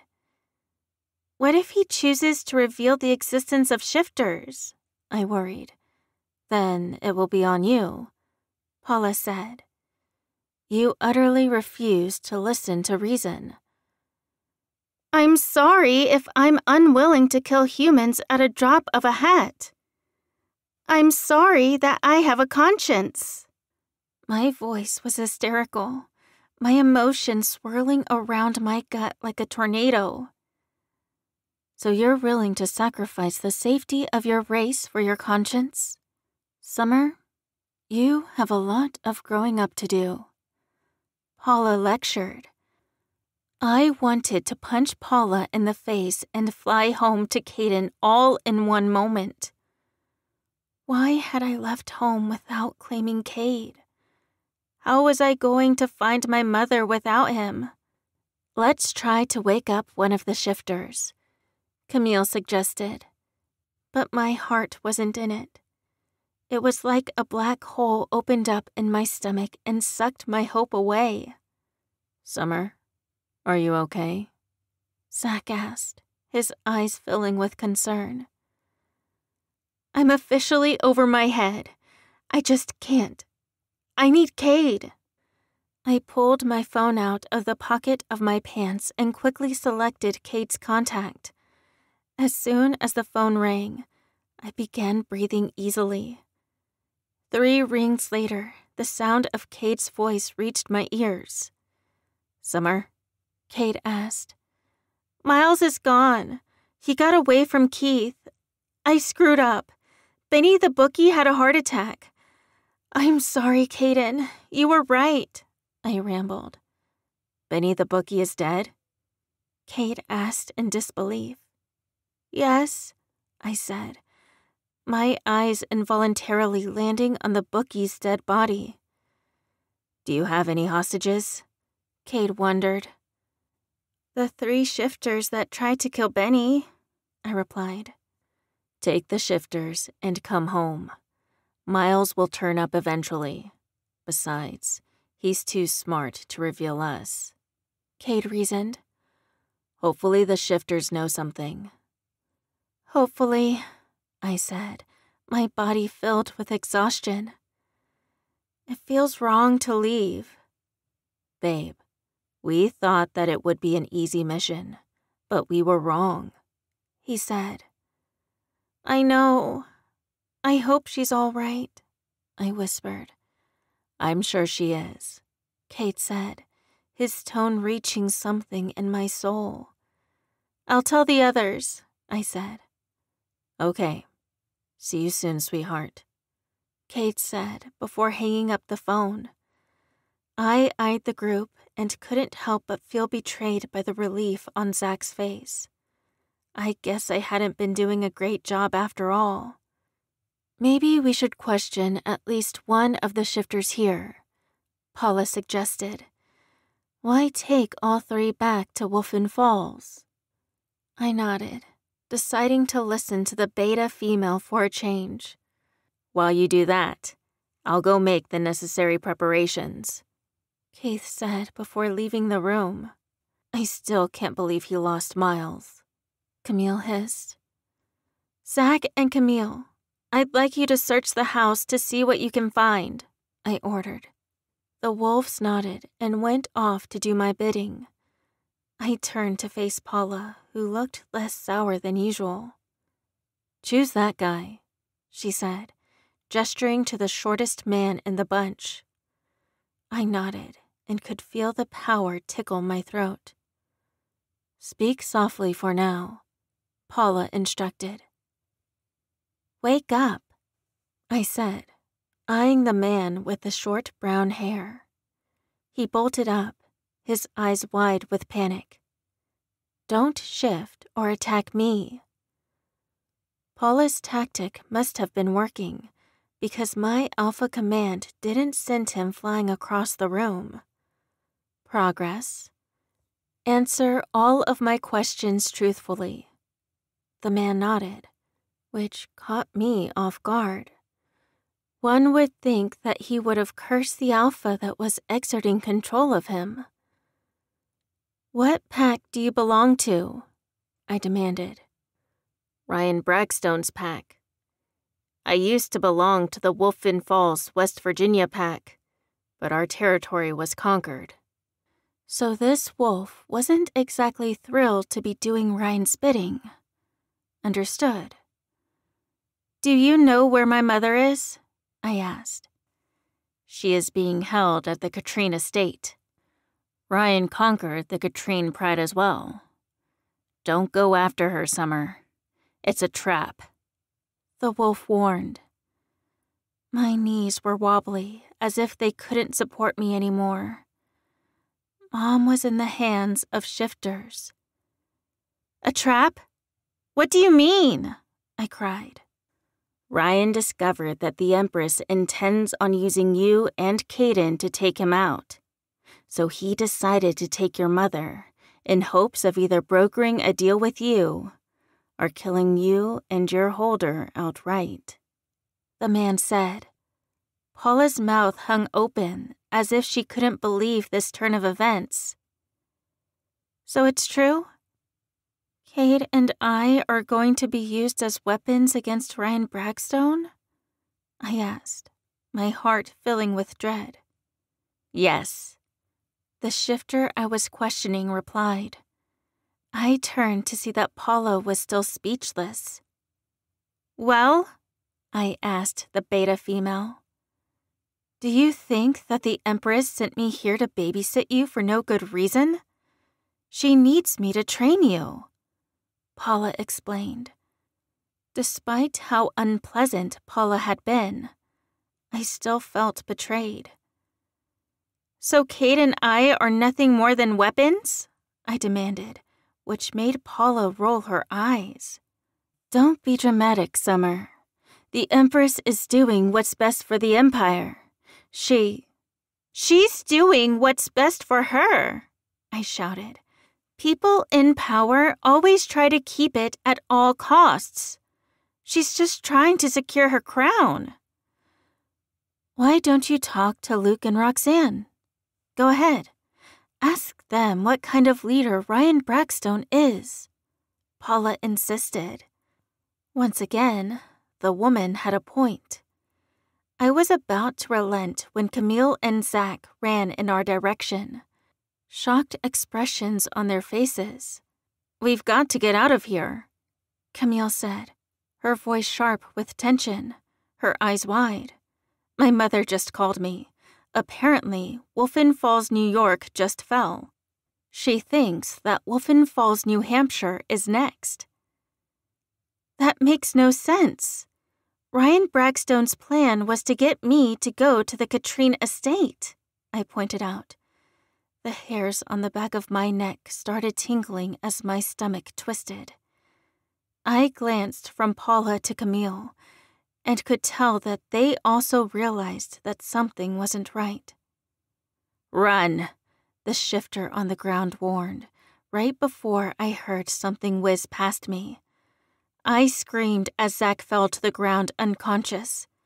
Camille! I cried, my ears straining to try to figure out where the attacker was coming from. Assassin, Paula said before she booked it out of the house. Camille snatched up Zack, and we turned to follow Paula when another dart sizzled through the air. But this time, it missed Camille by inches. I pumped my legs, dashing from the house of the bookie, my heart in my throat. Camille was beside me, her feet slamming against the floor. We made it to the exit and burst out of the house and into the desert like heat. I was glad that we hadn't parked in front of the house. An invisible arm snagged me and I screamed. Shut up, the woman hissed. I'm not with the morons inside. Come with me if you want to see your mother alive. Camille, I cried. She slowly approached me, her eyes filled with worry. An invisible woman has me. Crap, she said, right before I felt pain explode in the back of my neck. Katrine estate, I cried out. Then darkness claimed me. What in the hell am I supposed to do? A female voice cried. This is a terrible idea. The Alpha has been out forever. She's the best chance I've got. Stop it, Mara. You can't panic now. You took the girl already. Now you need to suffer the consequences. I was strapped into a seat that reclined. I could barely feel the shift of the transport, but could hear the sound of the engines. My heart sank when I realized that I was on a plane. Crap. I know I didn't give her too much. She should be awake soon, the female said. I ignored the person's words and glanced around. I was in a small plane. It had enough room to seat four people, including the pilot. To my shock and confusion, an unconscious Paula was strapped into the other seat. I hoped that Zack and Camille had gotten away. Hopefully, they would find the Katrine estate and find a way to assist us. Oh, good. You're awake, the woman said. She stood from her seat in the front and made her way over to me. She was short, with waist length jet black hair and features that hinted at her Asian heritage. You're going to kill me? I asked, confused. The woman let out a chuckle. No, Alpha. I need to drink your blood. It's the only way that Ryan Brackstone won't be able to claim me, Mara said. This woman had some nerve, kidnapping me and then asking me for a favor. And why would I help you? I challenged. Because I have information that you want, Mara replied.